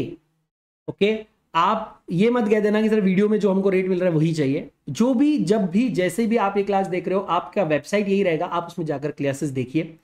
क्लासेस देखते वक्त टीचर का नाम, कोर्स सिक्स मंथ्स का है नाइन मंथ्स का है, इन चीज़ों को ध्यान से देखिए।